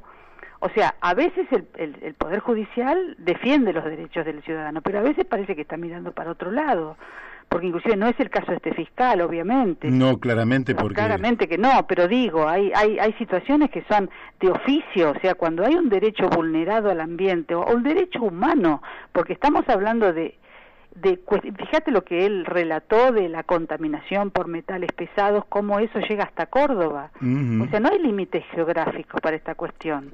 Yo vivo acá en la provincia de Buenos Aires y me puedo sentir afectada por lo que está pasando en este momento en Córdoba con los incendios o en el Delta, incendios intencionales, dolosos, hechos criminales realmente, que están afectando. Acá hay una, una bruma, acá se, se alcanza a percibir la bruma y eso va a traer consecuencias a futuro también, porque esto es un efecto dominó, es como el efecto mariposa. Y vamos, vamos ya a la cuestión fundamental que es al delito de ecocidio, o sea, tenemos que inclusive el poder judicial, la gente que está relacionada al derecho, ya tiene que estar planteando a nivel mundial la figura de ecocidio, el daño masivo, la destrucción de ecosistemas, todo lo que le trae consecuencias a nuestras futuras generaciones y a las que hoy es un daño a la humanidad en su conjunto. Mm. Son, eh, me animaría a decir lo que se dijo hace mucho tiempo, eh, ya en la cumbre de Brasil, el, del Río 20, se habló incluso de delitos de lesa humanidad. Incorporar el delito de lesa humanidad, el daño al ambiente. ¿Por qué? Porque cuando el daño es tan grande es, es, es, difícil retomar, es, es difícil volver de tanto mal que se le hace al, a la humanidad en su conjunto. Por eso digo, es interesante lo que plantea este fiscal, pero a, la vez es preocupante porque deja las claras de que si no salimos a defendernos nosotros, los que estamos pagando para que nos representen y nos defiendan, no lo hacen. Bueno, esto es una falla del, eh, del poder político, pero más que falla del poder político, yo que hace años que lo habito, aunque lógicamente desde los márgenes, ¿verdad? Es decir, eh, no, no desde adentro, sino desde los márgenes externos, digo que nosotros vivimos en un sistema que es una verdadera trampa, ¿eh? porque vos salís de Guatemala y tenés que votar a Guatepeor, terminás con Guatepeor y volvés a Guatemala, y, te cambian las caras, las personas, pero seguís dentro del mismo sistema, y ese sistema no ha asumido la defensa irrestricta eh, del ambiente, eh, fruto en gran medida de sus compromisos con el poder económico o por ser parte del poder económico. ¿Cómo ves esto? Y así, exactamente así. Los lobbies están a full. Y además la justicia se toma mucho tiempo. Mira, un daño ambiental indirecto fue la explosión de Río Tercero. Bueno, ¿y cuánto tiempo pasó? 26 años pasaron para que, surgiera una condena.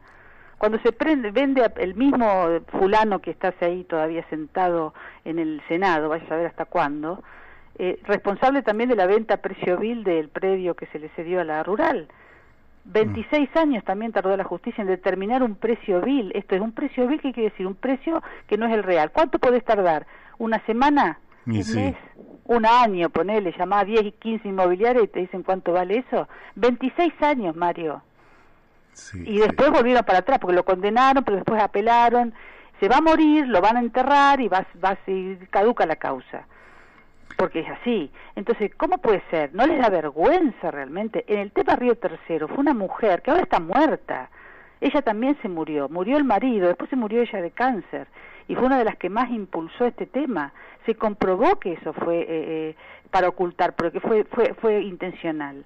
Imagínate todo, bueno, Recordemos que estás hablando de la explosión, de Río Tercero. claro, cuando la voladura de Río Tercero, la venta ilegal de, de armas. Así es. Una causa muy grande, muy grosa, pero escúchame, eh, lo del precio, la venta a precio vil del a, vos te parece que pueden tardar 26 años en resolver una cosa así? Bueno, lo que pasa es que no se resuelve porque en, el caso de, de Menem, la justicia terminó diciendo... Bueno, ¿sabes cómo? Yo no entiendo nada de justicia, porque acá tenía que, tenía que hablar de, de, ambiente, pero, pero eh, digo, algo se me ocurre a mí, no soy abogada, pero yo creo que los, los delitos de, la, de los funcionarios en ejercicio de la función pública como gobernantes y los delitos ambientales deberían resolverse por juicio por jurados, de la ciudadanía, de la ciudadanía, sentada y juicios rápidos y por jurado. Y debería haber un foro específico que fuera fuero ambiental. ¿Por qué? Porque no hay tiempo. Todas las alarmas, Mario, a nivel mundial se han encendido. Todas todas, todos los científicos de un lado, del otro, los más radicalizados, los más conservadores, coinciden que se acabó el tiempo.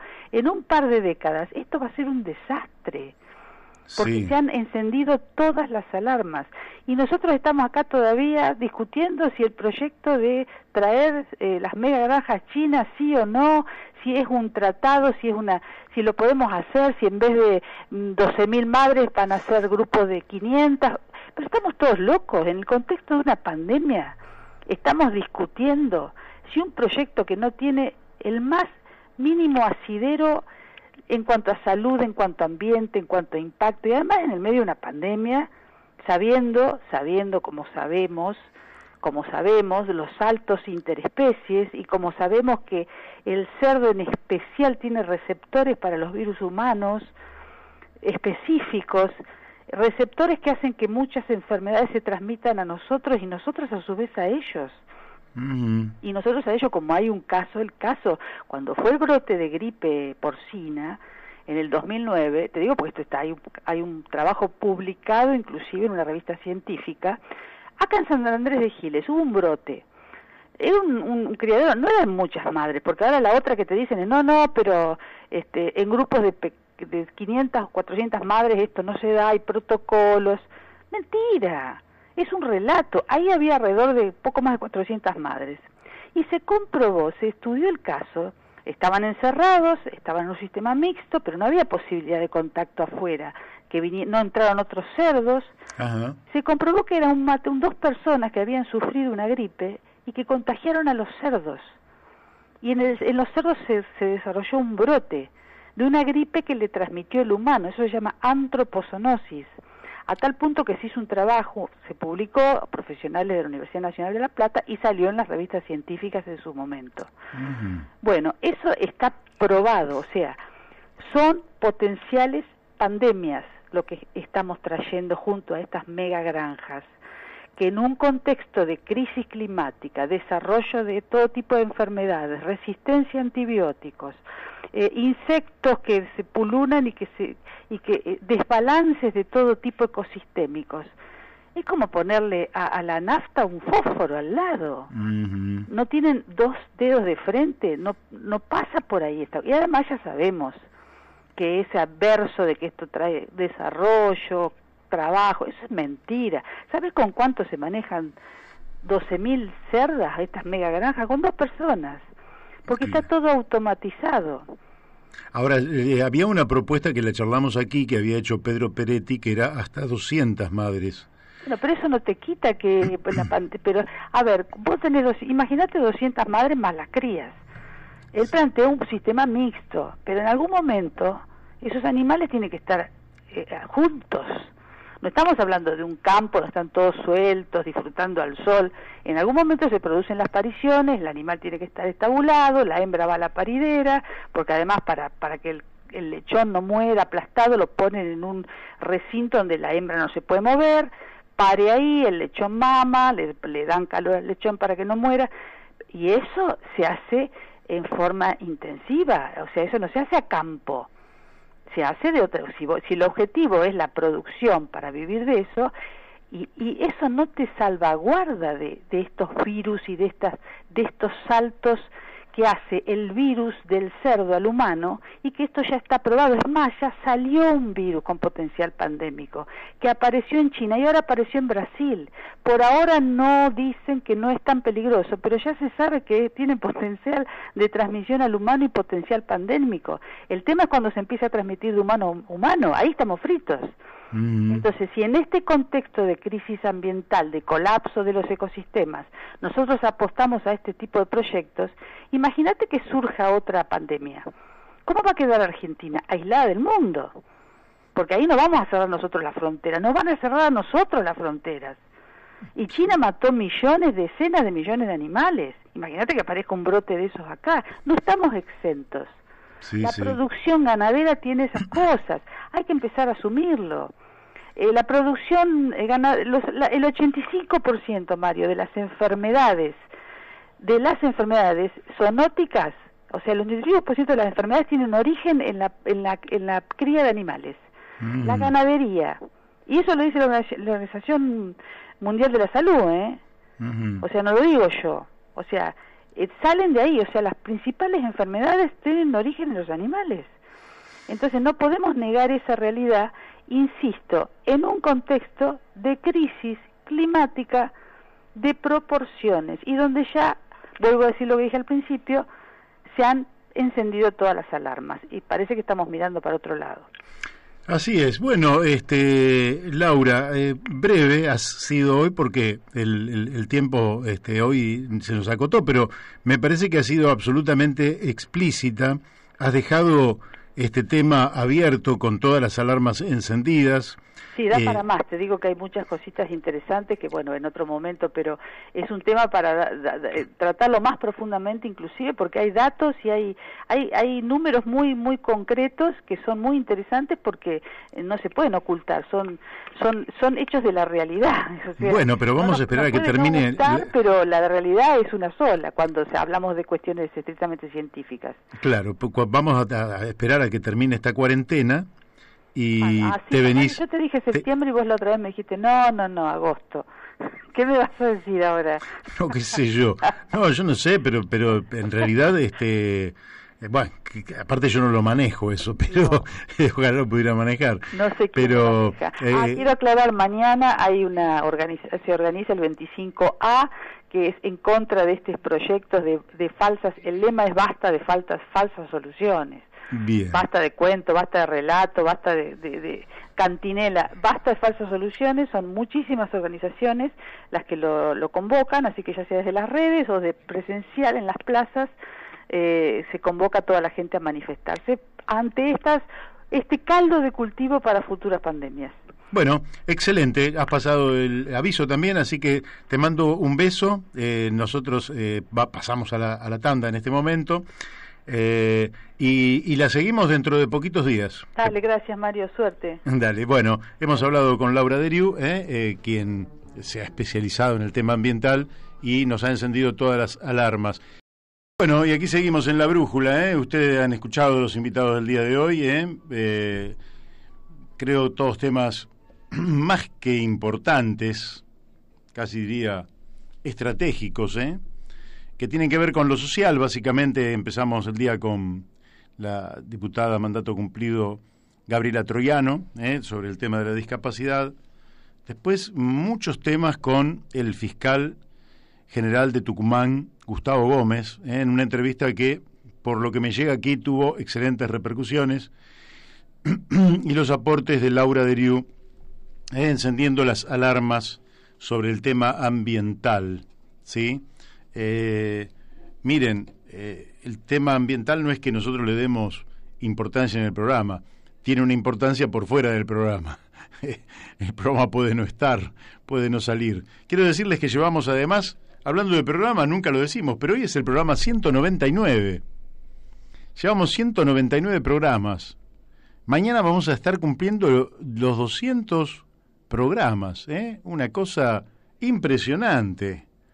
Y siempre nos olvidamos de, dar el número de programa, pero bueno, este, vamos a tener que hacer en algún momento la lista de todos los invitados que han eh, participado aquí en La Brújula, que realmente han sido de una jerarquía, de, un nivel de profundidad en el, en el análisis, en los aportes que se han hecho, que realmente, bueno, este, lo que pasa es que significaría mucho trabajo ponerse ahí a escuchar y transcribir todos los aportes significativos que se han ido haciendo a lo largo de casi dos años. ¿eh? Empezamos el primero de octubre, quiere decir del año 2018, quiere decir que ya dentro de un mes y piquito estamos cumpliendo los dos años de salida al aire, con una particularidad. Hemos salido todos los lunes y todos los martes, sin solución de continuidad. ¿eh? Este, de manera que es, eso es lo que ha hecho de este programa, bueno, que algunos oyentes mm, prendan, enciendan la radio y quieran a ver qué, qué tema se está tratando allí. Y por otra parte, la otra particularidad que tiene este programa, además de que el programa lo hacen básicamente los invitados, ¿sí? además de nuestras opiniones, la otra particularidad es que eh, planteamos una agenda propia, que es una agenda distinta a la de los grandes medios de comunicación. Es una agenda eh, donde decimos lo que justamente otros, por oficialistas u opositores, eh, tratan de ocultar, no decir, ¿eh? y por eso traemos a colación temas como este que vamos a estar hablando en un par de minutos, que es el de la deuda externa, que es un tema que siempre se lo plantea en términos de eh, honorabilidad. Eh, pero entiendo que ya estamos en contacto con eh, Javier Llorens y le doy los muy buenos días. ¿Qué tal? Buenos días, Mario. ¿Cómo estás tú? Bien, bien. Javier, este, yo no sé si te puedo tutear. Sí, con todo gusto. Bueno, yo te conozco desde hace muchos años de nombre pero es la primera vez que vamos a conversar. Te conozco además por, por las referencias que he tenido durante muchos años a través de Mario Cafiero. Sé de la seriedad de tus investigaciones, de tus análisis, y por eso recurrimos este, a vos en esta ocasión, eh, básicamente para preguntarte cómo estás viendo esto que es la, la última renegociación, podríamos decir, después vendrán otras en el futuro, pero la que estamos transitando estos días, que cerró con un acuerdo muy celebrado el 4 de agosto, que hoy tendría que haber tenido un cierre, pero que se postergó por unos días. ¿Y por qué no nos pones un poco en situación para los oyentes, para que entendamos un poquito mejor de qué se trata todo este asunto? Bueno, primero que, que nada, espero estar a la altura de tus elogios, cosa que me parece un poco difícil, pero mira, el sentido de la operación es eh, eh, arreglar no la deuda de los argentinos, sino la deuda del FMI, que dio el préstamo más descomunal, más irresponsable y más injerencista de su historia argentina, con la finalidad geopolítica de sostener el gobierno anterior de Macri. Y entonces eh, la operación esta ha sido correr la deuda que hay con los bonistas privados para acomodar primero el pago al Fondo Monetario, que son 49 mil millones de dólares. Ese parece ser el sentido profundo de la operación y entonces la pregunta que uno se hace es realmente a quien, a quien responde nuestro ministro Martín Guzmán, que se descolgó de Estados Unidos y hizo una gestión muy amistosa con los, demasiado amistosa con los bonistas privados y el resultado directamente beneficia a Cristalina Georgieva, ¿no? De la una cambio de faz del Fondo Monetario que tenía como policía malo a Cristina Lagarde y apareció de repente esta buena señora con una, muy amistosa, los abrazos, con reuniones con el Papa Francisco y demás. Y ellos tienen un gravísimo problema para cobrar ese dinero tan irresponsablemente dado, ¿no? Claro, ¿pensás que ese dinero se puede, este, la Argentina está en una situación angustiosa porque está, eh, digamos, con ausencia de recursos eh, públicos y por lo menos privados accesibles, porque los privados fugan el dinero en la Argentina. Eh, ¿Pensás que Argentina puede asumir algún compromiso con el Fondo Monetario Internacional de algún pago en los próximos años? Y, eh, lo más que puede dar, según sus estatutos, un, un plan de facilidad extendida a 10 años, que significarían pago de 5 mil millones anuales de dólares, para que cumplir tendríamos que volver al mercado de la deuda y pedirle a estos bonistas que nos presten para pagarle al fondo cuando el fondo nos prestó para pagarle a los bonistas. Mm. Todo un riesgo en que el fondo y los, eh, financistas tienen una íntima conexión entre sí. Este, y aparte de eso, esta cuestión de la fuga, de, que se da ahora con esta compra masiva de dólares de 200, de, de 200 dólares, es también resultado de la pésima gestión, la negociación por parte del ministro Guzmán en forma excesivamente amistosa, cuando trascendió su primera oferta allá por marzo, los lobos de Wall Street lo que hicieron fue mm, manipular los precios en la bolsa de los bonos en una forma realmente insidiosa porque quisieron subir más en pesos que en dólares y le generaron una devaluación. El dólar contado con liqui se fue a 130 pesos y después arrastró al dólar blue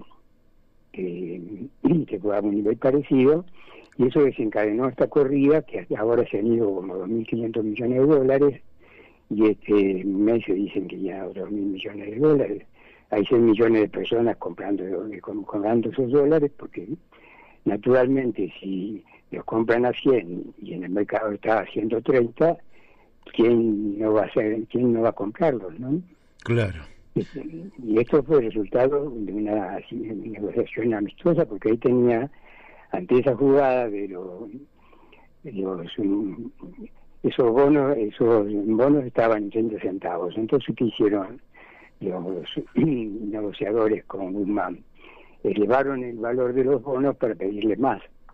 Guzmán apareció con una oferta de 39 centavos y le dijeron, no, los bonos ahora están en 40, queremos más y así lo arrastraron a Guzmán hasta los 55 centavos de, dólar el valor de los títulos supuestamente a salir del mercado. Y cuando cuando Guzmán podría haber portado esa maniobra de diversas maneras, entre ellas declarar en default los títulos y se acababa la maniobra bursátil, ¿no? Claro. Claro. Aparte tenía la, el Código Penal reprime esa conducta acá en, en Argentina, también podría haber hecho una denuncia una denuncia penal pero la tesitura de él era una negociación enteramente amistosa, este, entonces como eh, la sostenibilidad del señor ministro se basa en volver al mercado de la deuda, lógicamente no puede agredir a los que no van a prestar en un futuro para pagarle no solo a Fondo Monetario, sino para pagarle a ellos mismos. ¿no? Mm. Sí, ahí, el, ahí hay una gran promiscuidad también, ¿no? Porque, por ejemplo, fondos como BlackRock, son fondos que son parte de, sistemas financieros que son dueños de la Reserva Federal. ¿Es así? Sí, este señor Larry Fink ha logrado no estar de un lado a otro del mostrador, sino parado el mostrador, porque es el que administra los recursos, los subsidios de la Reserva Federal que canaliza a los bancos y a la compra de títulos. Y por eso desde el 2008, eh, después de la crisis del 2009, adquirió una enorme fortaleza hasta pasar a ser el fondo de inversiones más grande del mundo, necesita de estos de los bonos de los países emergentes, porque son los que le dan rentabilidad, porque los bonos de los países desarrollados están en el 1, 1,5%, y no, no son gran cosa, en cambio si los mezcla con bonos de países emergentes que eh, pagan el 4, el 5, el 7, como pactaba el señor Caputo, Entonces ahí hay rentabilidad como para colocar su, las inversiones, ¿no? Eh, te quiero preguntar, el, tipo, el, manejo cambiario que hace la Argentina, eh, con, siempre me llamó la atención porque el, el Banco Central vende dólares, se supone más baratos de lo que el mercado estaría dispuesto a pagar en función de mantener la estabilidad cambiaria, cuando en realidad el Banco Central puede fortalecer su posición comprando dólares con emisión monetaria, que lógicamente generaría inflación, pero fortalecería las propias reservas del banco. ¿A vos te parece que es correcto el manejo que ha hecho la Argentina respecto de la política cambiaria? Mm, bueno, Mario, el Banco Central es un banco que está reventado.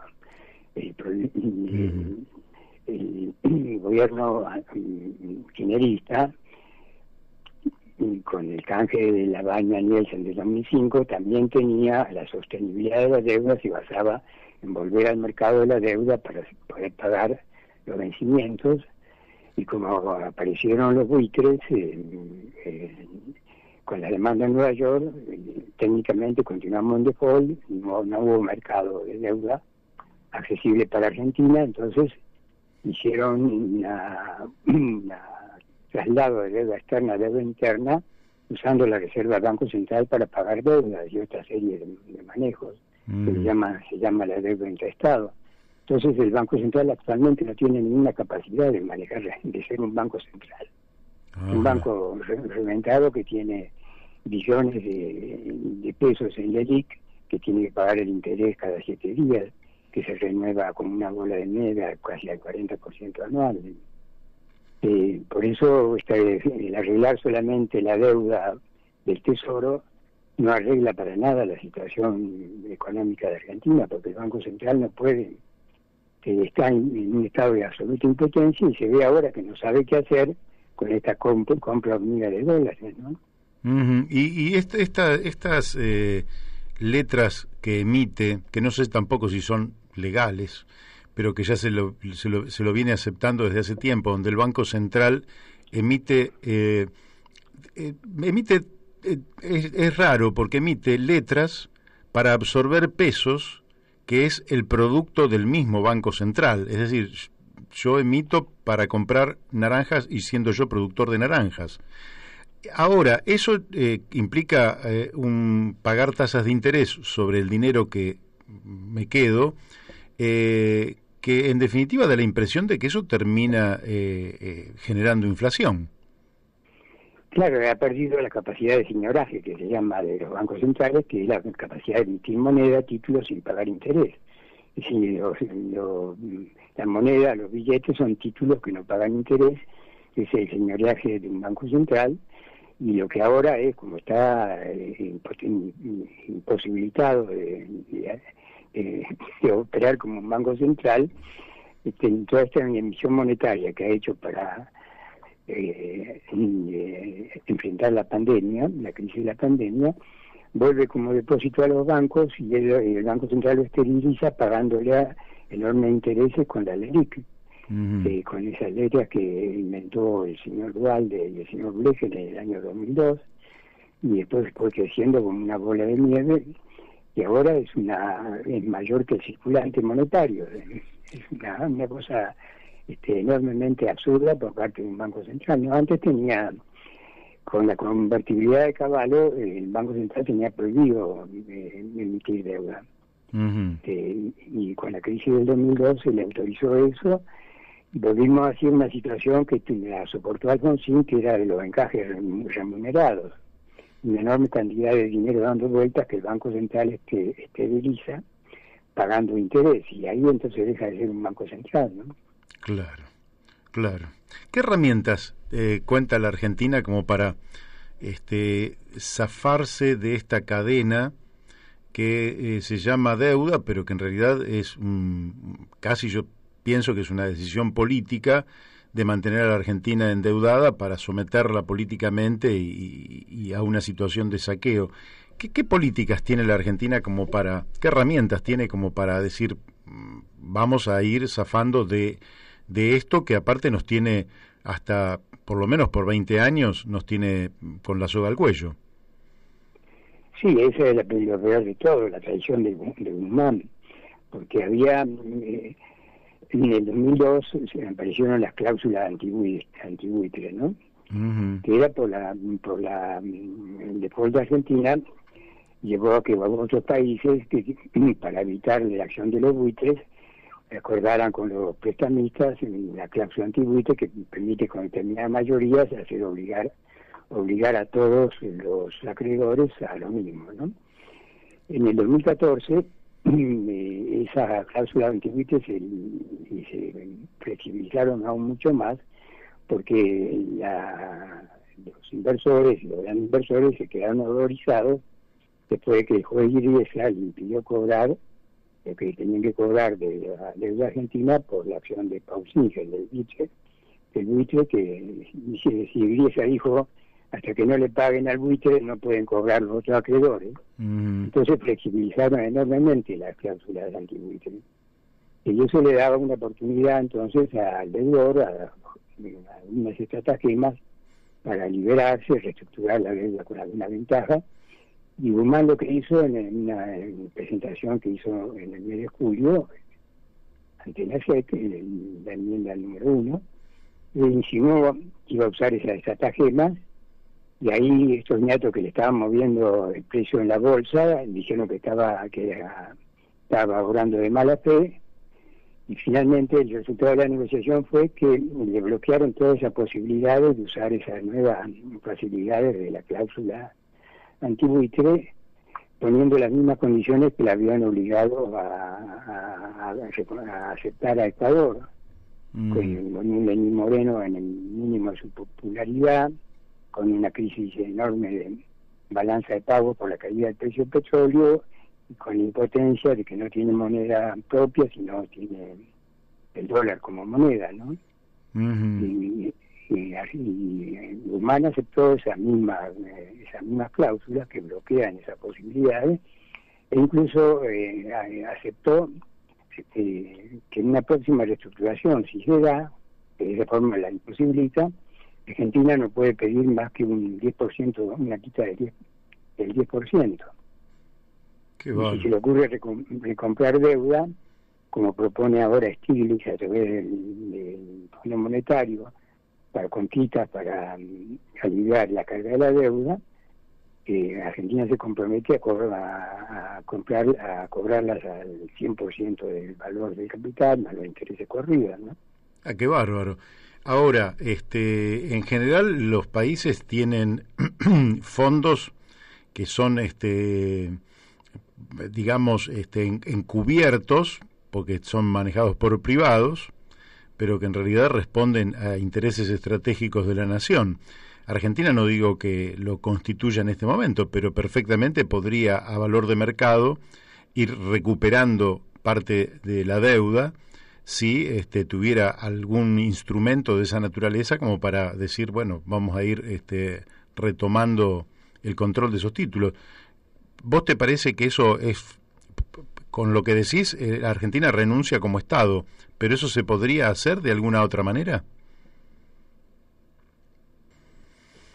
Sí, eso es una maniobra supuestamente prohibida en el mercado para un Estado. Claro y enseguida le dan la cana y aparte en esta me acuerdo se estipula que tampoco los bonos que tiene el Estado pueden intervenir en la cuestión de las mayorías y en las reestructuraciones y demás. la, la deuda, Mario, es una, un instrumento de dominio que lo inventaron los ingleses allá por 1824. Mm. Todos los países de la colonia española con independencia amanecieron endeudados, que es una forma de tutela eh, adquirida sobre los países para condicionar su desarrollo no en función del bienestar de sus habitantes, sino de la, en ese caso era de la necesidad de, del imperio inglés, no era muy astuta forma de dominio que la que la idearon por el fracaso que tuvieron en Argentina con la invasión inglesa. Dijeron, no podemos andar derramando tanta sangre por el mundo, tenemos que idear otra cosa. Y el señor Canning, después de, de recapacitar y reflexionar, apareció con esta, lo que se después se llamó, se describió como el imperio informal, ¿no? el neocolonialismo. Y eso duró hasta la Segunda Guerra Mundial, con altibajos. Argentina en ese interín cayó en default en 1890 también.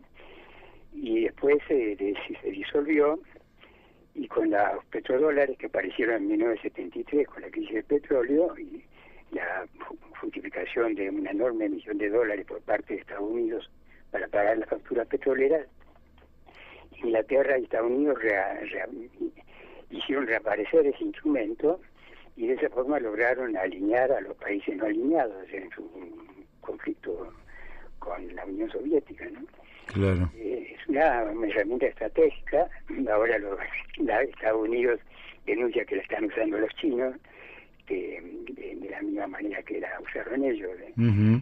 este, este, entonces la política es de préstamo, ya lo describió Escalabrín de Ortiz, es prestarnos, es prestar hasta un punto que uno no pueda pagar y de ahí entonces lo único que tiene que hacer es continuamente con una deuda perpetua estar en un estado de renegociación permanente que cada vez le piden más condiciones y precondiciones los, los acreedores y quienes están atrás, los organismos bilaterales, como el Fondo Monetario. Un ejemplo notable de eso fue que la préstamo de JP Morgan para pagarle a los buitres a principios de 2016 con presidente Macri vino con la condición del megatarifazo de gas natural, porque JP Morgan es la colocadora de las acciones de la compañía que están invirtiendo allí. Y eso lo pagamos todos los argentinos, ¿no? no solamente pagamos la deuda, sino pagamos enormes tarifas de gas y de electricidad, porque la electricidad se produce mayormente con gas, ¿no? Claro. Esa es la, el, lazo que tenemos puesto, que con la gestión de Kirchner, como no podía pagar la deuda con volviendo al mercado, la pagó reventando al Banco Central con los fondos de ANSES y otras maniobras, incluso la 125 iba en el sentido de lograr tener recursos para pagar la deuda que antes no, no poder refinanciarse. y, la deuda externa de esa manera había bajado a un ratio muy bajo, Argentina la podía soportar, este, tranquilamente y entonces apareció MAPE y la multiplicó por cuatro directamente a la deuda externa con bonitas y el Fondo Monetario y con el doble de la tasa de interés de los países vecinos es una deuda insoportable este, y, culminada con el préstamo del Fondo Monetario para pagarle a los bonistas y ahora el arreglo para poner al Fondo Monetario delante, para pedir a los bonistas para pagarle al Fondo Monetario en un eterno que financiero, ¿no? que no tiene salida en ese, en ese esquema, y nosotros con Alejandro Magaona y Héctor Juliano, le sugerimos al presidente una especie de salida este, técnica ante ese problema, que son los bonos que se usan, eh, otro tipo de bonos que se usan los, los países desarrollados, este, los estados, las municipalidades, que son bonos ajustados por inflación. Entonces el pago de sus servicios este, es sumamente benévolo y solamente se paga al final, a los 30 años, o a los 50 años, incluso en, el Reino Unido, con un interés actualmente del 0,125% anual. Mm. Entonces el pago de intereses durante esos 550 años lo paga cualquiera. De esa manera Argentina podía este, destinar todos los recursos que obtiene para reparar la enorme deuda social interna que tiene y, comenzar una reconstrucción. Pero eh, no fue escuchada en absoluto, ni siquiera obtuvimos una acusa de recibo. Qué bárbaro. y el señor Guzmán siguió con estos bonos convencionales, que logró bajar el interés y a la mitad, pero acortó el plazo de la deuda y la aumentó el monto del capital inicial, así que y a costar una, una mejora con dos de mejora, ¿no? Claro. Sí, sí, no, no, no, no, no se sabe bien qué se festejó en la Argentina. Dos preguntas últimas.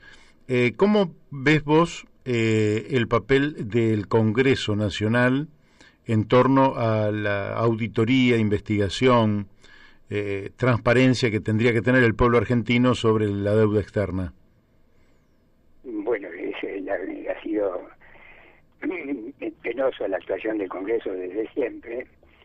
Este, no obstante, la, la, el fallo que hubo el caso Olmos, que le giró la causa del Congreso en el 2000, Después, en el 2014, por el motivo del conflicto con los buitres, el kirchnerismo sacó una, armó una comisión de seguimiento de la deuda en que tenía facultad de investigación y en el 2016, cuando se arregla con los buitres, se quitó esa facultad de investigación.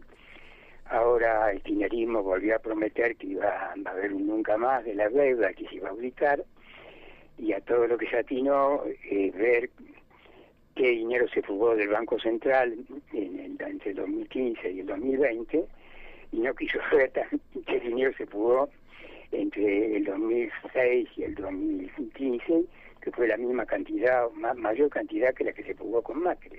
Mm. Fueron 100 mil millones de dólares y en ese momento eran dólares genuinos porque provenían del saldo de la comercial de la de la soja ahora lo que Macri se, pues, se un dinero en base a deuda, ¿no? Pero ese es el mecanismo, entra el dinero y se fuga y queda registrada la deuda y la deuda, en el caso de la primera deuda nuestra en 1824 fue por medio de la quiebra del Banco de Descuentos, que lo manejaban comerciantes ingleses, y la deuda en el caso de la, con la última dictadura que apareció ahí, surgió de golpe en dos años, fue por mediante la quiebra de 150 bancos y entidades financieras, ¿no?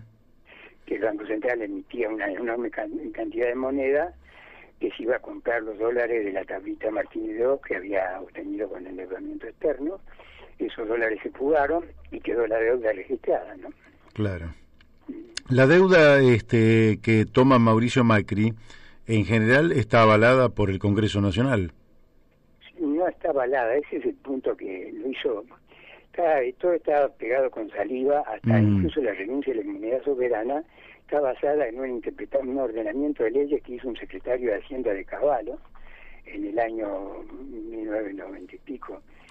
Eh, y lo que hace el Congreso dice en el, presupuesto se autoriza a tomar deuda por tanto y nada más, como un, un Congreso bobo, Mm. y en cuanto a la forma, las modalidades, el, la tasa de interés, el, plazo, eso no, no, no tiene ninguna ninguna injerencia ni, ni, ni, potestad ni, ni, indicación alguna. ¿no? Le da una carta, un cheque en blanco, tome deuda por tanto, como quien le da una tarjeta de crédito a un, a un truán y después ni siquiera revisa lo que lo que ha pasado. ¿no?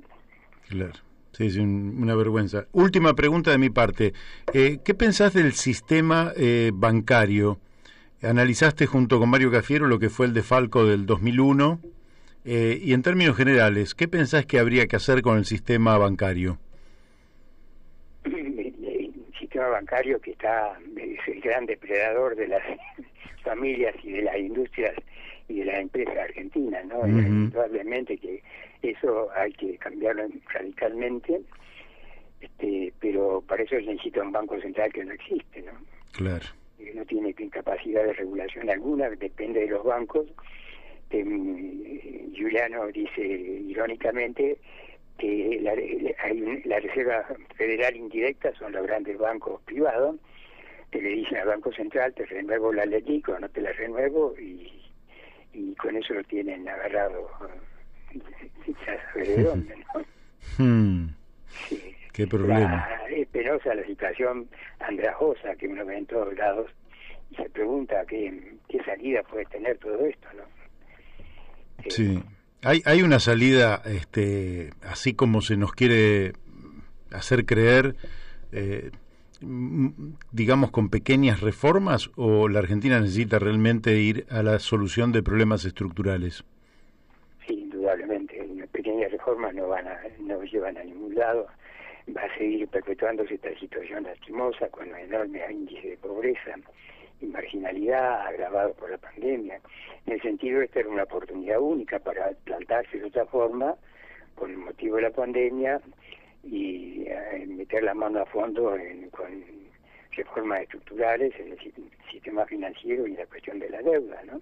Claro. Eh, la, no, no, la debacle de Argentina y el fenómeno de la marginalidad y la exclusión y la pobreza es vino al compás de la deuda desde hace 40 años mm. que Argentina está endeudada y hace 40 años que hay una degradación social que se interrumpió mm, la, el ascenso social este, y hay una enorme degradación cada vez más más pronunciada este, una clase cada vez más excluida y marginalizada que al mismo tiempo con todos los avances tecnológicos no está en manera alguna capacitada para para eh, educarse en tal sentido, ¿no?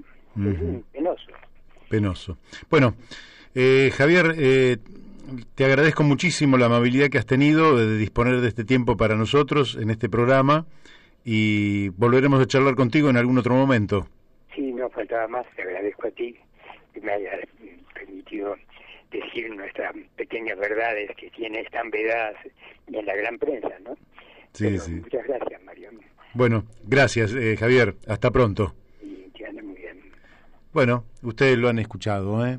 Situación penosa la de Argentina con herramientas este, con dificultad para operar sobre la realidad, con un banco central endeudado, eh, pagando en tasas de interés absurdas, eh, con un sistema productivo alicaído, con una población eh, que no está en condiciones de aprovechar las grandes ventajas de, de la modernidad, de la tecnología, de, de, este tiempo histórico en el que nos encontramos, y esto no se va a cambiar con pequeños arreglitos chiquititos, esto se va a cambiar si somos capaces de transformar estructuralmente el país. Daniel, ¿qué tal? ¿Cómo te va? Qué, qué buenas las reflexiones de, de Llorens, me, me pareció realmente de una claridad fenomenal, ¿eh? Sí, sí, este, claramente, sí, sí. Y además que puso blanco sobre negro algunas cuestiones de las que no se hablan, que tienen que ver con la letra chica de lo que se firmó y la aceptación de, de condiciones legales que pueden complicar a negociaciones futuras para la Argentina, ¿no? Sí, sí, claro. Em, es indudable que el, país ha ido cayendo, enredado en una maraña eh, que lo ha constituido este poder financiero a través de estos mecanismos de deuda, deuda que solo han servido para, para someter y sumir a la Argentina en la decadencia y creo que lo dramático es eh, que no tengamos eh, capacidad de respuesta, es decir, que no nos indignemos frente a tanta injusticia, que no nos rebelemos frente a esta dominación, ¿verdad? Y que, que todo lo que, eh, digamos, tienen en cuenta es decir, bueno, vamos a ver si le pedimos a China, es decir, realmente es como decir, muchachos, nosotros para ser un país independiente, para ser un país soberano, para ser un país libre, necesitamos tener autonomía financiera. Sí, yo este, vinculaba lo que decía Llorens con lo que nos dijo un par de semanas atrás Graciano respecto de cómo se apropian los bancos del impuesto inflacionario y, y la verdad que es un es este es una trampa perfecta no los tipos manejan eh, realmente son la mm, eh, son eh, la conducción del país la tienen los bancos. Sí son depredadores sí son, la conducción y son depredadores. Son depredadores. Por eso es también digamos la, la actitud timorata del sistema político argentino como si se tratara de una vaca sagrada a la cual no se puede tocar cuando si nosotros no liberamos eso eh, lógicamente vamos a ir quedando en situaciones de tal angustia que vamos a terminar eh, favoreciendo eh, el deterioro también del ambiente, porque cuando este es un círculo vicioso, eh, cuidar el ambiente es un lujo que te puedes dar cuando por lo menos tus condiciones de existencia te lo permiten, pero cuando te llevan a la desesperación, Y sacrificás el ambiente. Aparte vos fíjate, ¿no? Qué, qué paradójico también, creo que lo dijo Llorens en algún, alguno de los pasajes de su exposición, digamos que en definitiva este esta actitud de los bancos no solo atenta contra los sectores más vulnerables de la sociedad, sino que atenta con, te diría que salvo algunas minorías muy muy este muy especiales, atenta contra toda la sociedad, porque porque digamos, esto también mina la posibilidad del desarrollo de una pyme, de una industria mediana, inclusive de una gran industria. Eh, es este es el, la más vívida expresión del hola hola. Ah bueno. Mm, bueno bueno y pequeños problemas que ocurren. Eh, no, no, ya, se va a volver a comunicar Daniel, uno de los fenómenos que esto trae también es que, eh, que no se dan cuenta los que defienden el capitalismo nativo, es que eh, una sangría de tal magnitud eh, también no solo deteriora el salario y por tanto el mercado interno, sino la tasa de ganancia del capital nacional, con lo cual se desincentiva la inversión y no se dan cuenta que la decadencia argentina está directamente asociado al tema del saqueo que nosotros sufrimos, entre otras entre otros canales de saqueo, el de la deuda. Daniel, ¿ha recompuesto la comunicación? Sí, se cortó. Este, sí, estaba, mi razonamiento estaba alineado con lo que estabas terminando de decir y, y, digamos que es hora que la sociedad argentina tome nota de esto, porque está muy bien que estos intereses intenten ocultarse no detrás de, una cortina de humo. Pero acá hay eh, un pueblo entero que está siendo afectado. Y esto hay que denunciarlo y hay que decirlo y hay que explicitarlo. Mira hay todo un, este, hay todo un sector en la Argentina que eh, aspira a una Argentina alineada en el mundo. Todo el, todo el, digamos la, la ideología que que expresó el macrismo, pero que antes expresaron Alzogaray y Martínez de Oz, y así podemos seguir, es que la Argentina tiene que estar alineada y, en ese alineamiento eh, el, el papel que nosotros vamos a jugar nos lo determina el centro. Quiere decir que nosotros tenemos que eh, tomar deuda para pagar la cuota de pertenecer al club de países occidentales y debemos aceptar el rol que los países centrales de Occidente determinan para la Argentina. Este, este planteo colonial, el problema que tiene es que deja afuera a dos de cada tres argentinos y nos lleva al derrumbe porque es un planteo de dependencia que nos lleva a el desastre eh, financiero, social, económico, político y ambiental. Y el problema es que cuando a ese planteo, supuestamente, los sectores nacionales le quieren contestar con que esto mismo tenemos que hacerlo respecto de China, la verdad es que es lamentable. Es lamentable porque no es que China o Estados Unidos sean buenos o malos, es que por su magnitud tienen hacia la periferia una relación imperial. Entonces lo que vos tenés que tener es una posición nacional defensiva del papel de tu nación en el concierto de naciones del mundo, para lo cual necesitas tener identidad política y cultural y planificación de corto, mediano y largo plazo para saber qué rol vas a jugar en el mundo sobre la base de tus propios objetivos y no de los objetivos que el centro le impone a la periferia. Por tanto, el, sistema político argentino es la verdadera trampa que nos mantiene en una situación de injusticia y atraso fenomenal que se va a seguir produciendo, no porque sean malos, sino porque la forma de pensar es equivocada. Así es, así es. Es una, este, una lucha que hay que hay que dar y es una eh, digamos, es una discusión que hay que llevarla al seno de la sociedad, ¿no? Para que se, se ponga esto sobre la mesa. Sí, Este, no sé qué sector de la sociedad está, digamos, con ánimo de eh, incorporarse a este debate, pero este debate no es un debate marginal, si Messi va a pasar al Inter o no va a pasar al Inter.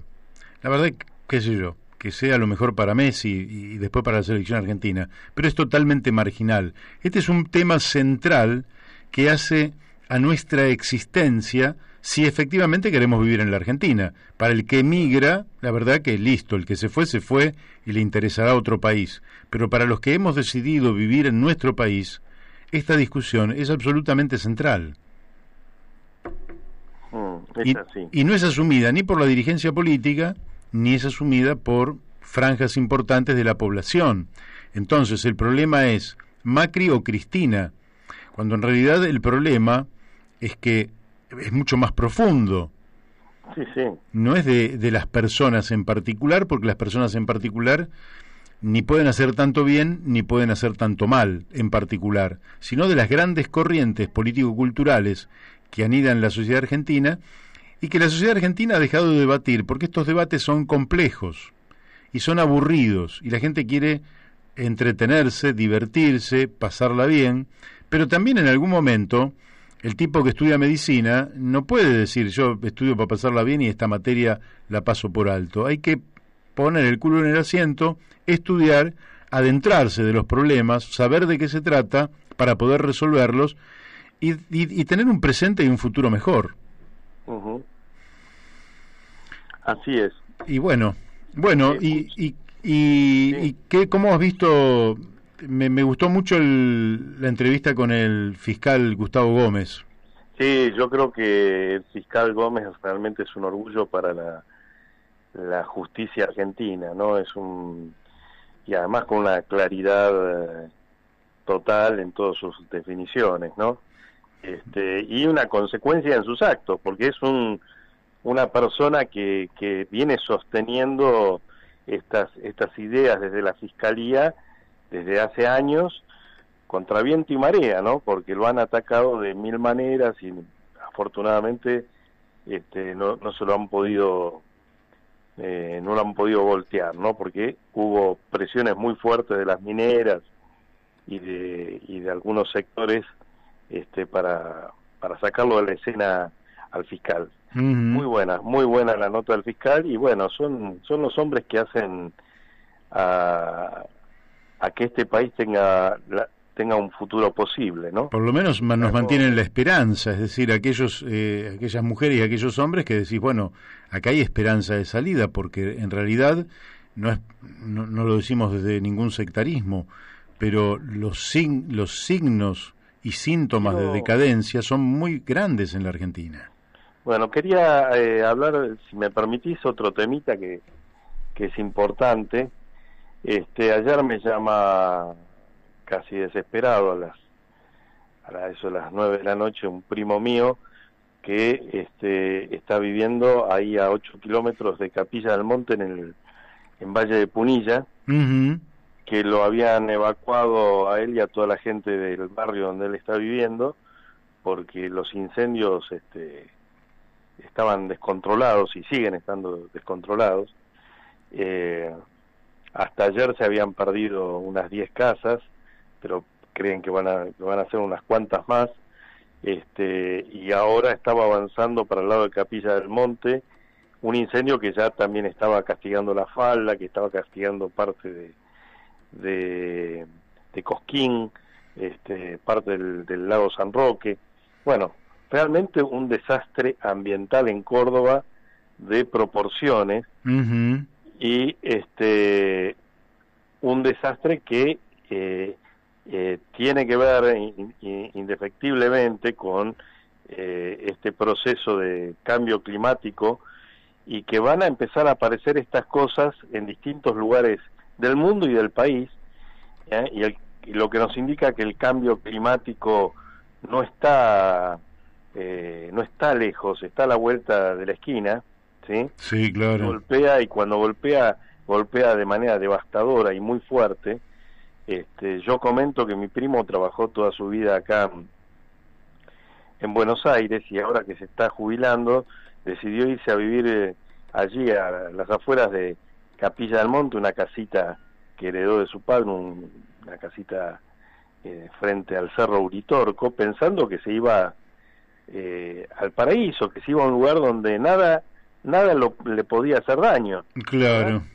El, buen aire de las sierras, este, la vida tranquila, eh, bueno, el clima serrano, y, fíjate, de un día para el otro, ese, ese paraíso se ve arrasado por, por, un, por un incendio que tiene que ver con, además con la falta de agua, las sequías, este, que además tienen que ver después con, con, con, periodos de lluvias torrenciales y con que lo, que estamos viendo a veces este, en carácter de catástrofe en, en, otras partes del mundo, pero bueno, este eh, nada, quería hacer este comentario y por ahí mañana si tenemos tiempo le sacaremos a él para que eh, nos, cuente. más en detalle. Sí, sí, sí. Bueno, este, quédate, quédate ahí, quédate ahí que mm, este Daniel Pérez eh, manda también quinto foro de denuncia agua y extractivismo, eh, que tienen en común la megaminería, los cerdos, el fracking y las represas. Eh, hoy, 24 de agosto, 17 horas. Eh, bueno, hay un lugar en YouTube. Recuerden, denuncia agua y extractivismo Juicio popular a la deuda y al FMI recibe las denuncias de diversas organizaciones y problemáticas populares todos los lunes contra la deuda.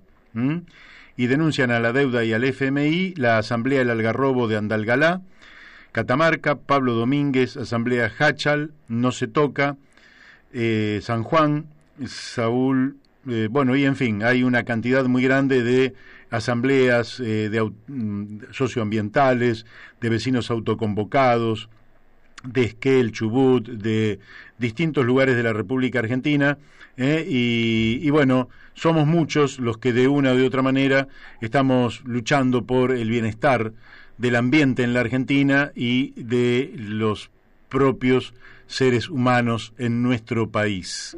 Eh, felizmente hay un pueblo que todavía tiene ánimo, que lucha y eso, bueno, nos llena de esperanza y nos hace pensar en que también el programa tiene una función en torno a esta corriente que no se resigna a vivir en una semicolonia, que quiere un país libre, soberano, para el bienestar general. Daniel, te mando un abrazo. Bueno, nos vemos mañana. nos vemos mañana. Y nosotros también nos estamos despidiendo porque hasta aquí ha llegado la brújula en la luna y los estamos esperando mañana con un programa distinto al de hoy, ¿eh? un programa de, de, otro tipo, porque cada programa es único y irrepetible. Y a las 11 de la mañana los esperamos aquí en, en Radio La Luna AM 1140. Chau, hasta mañana.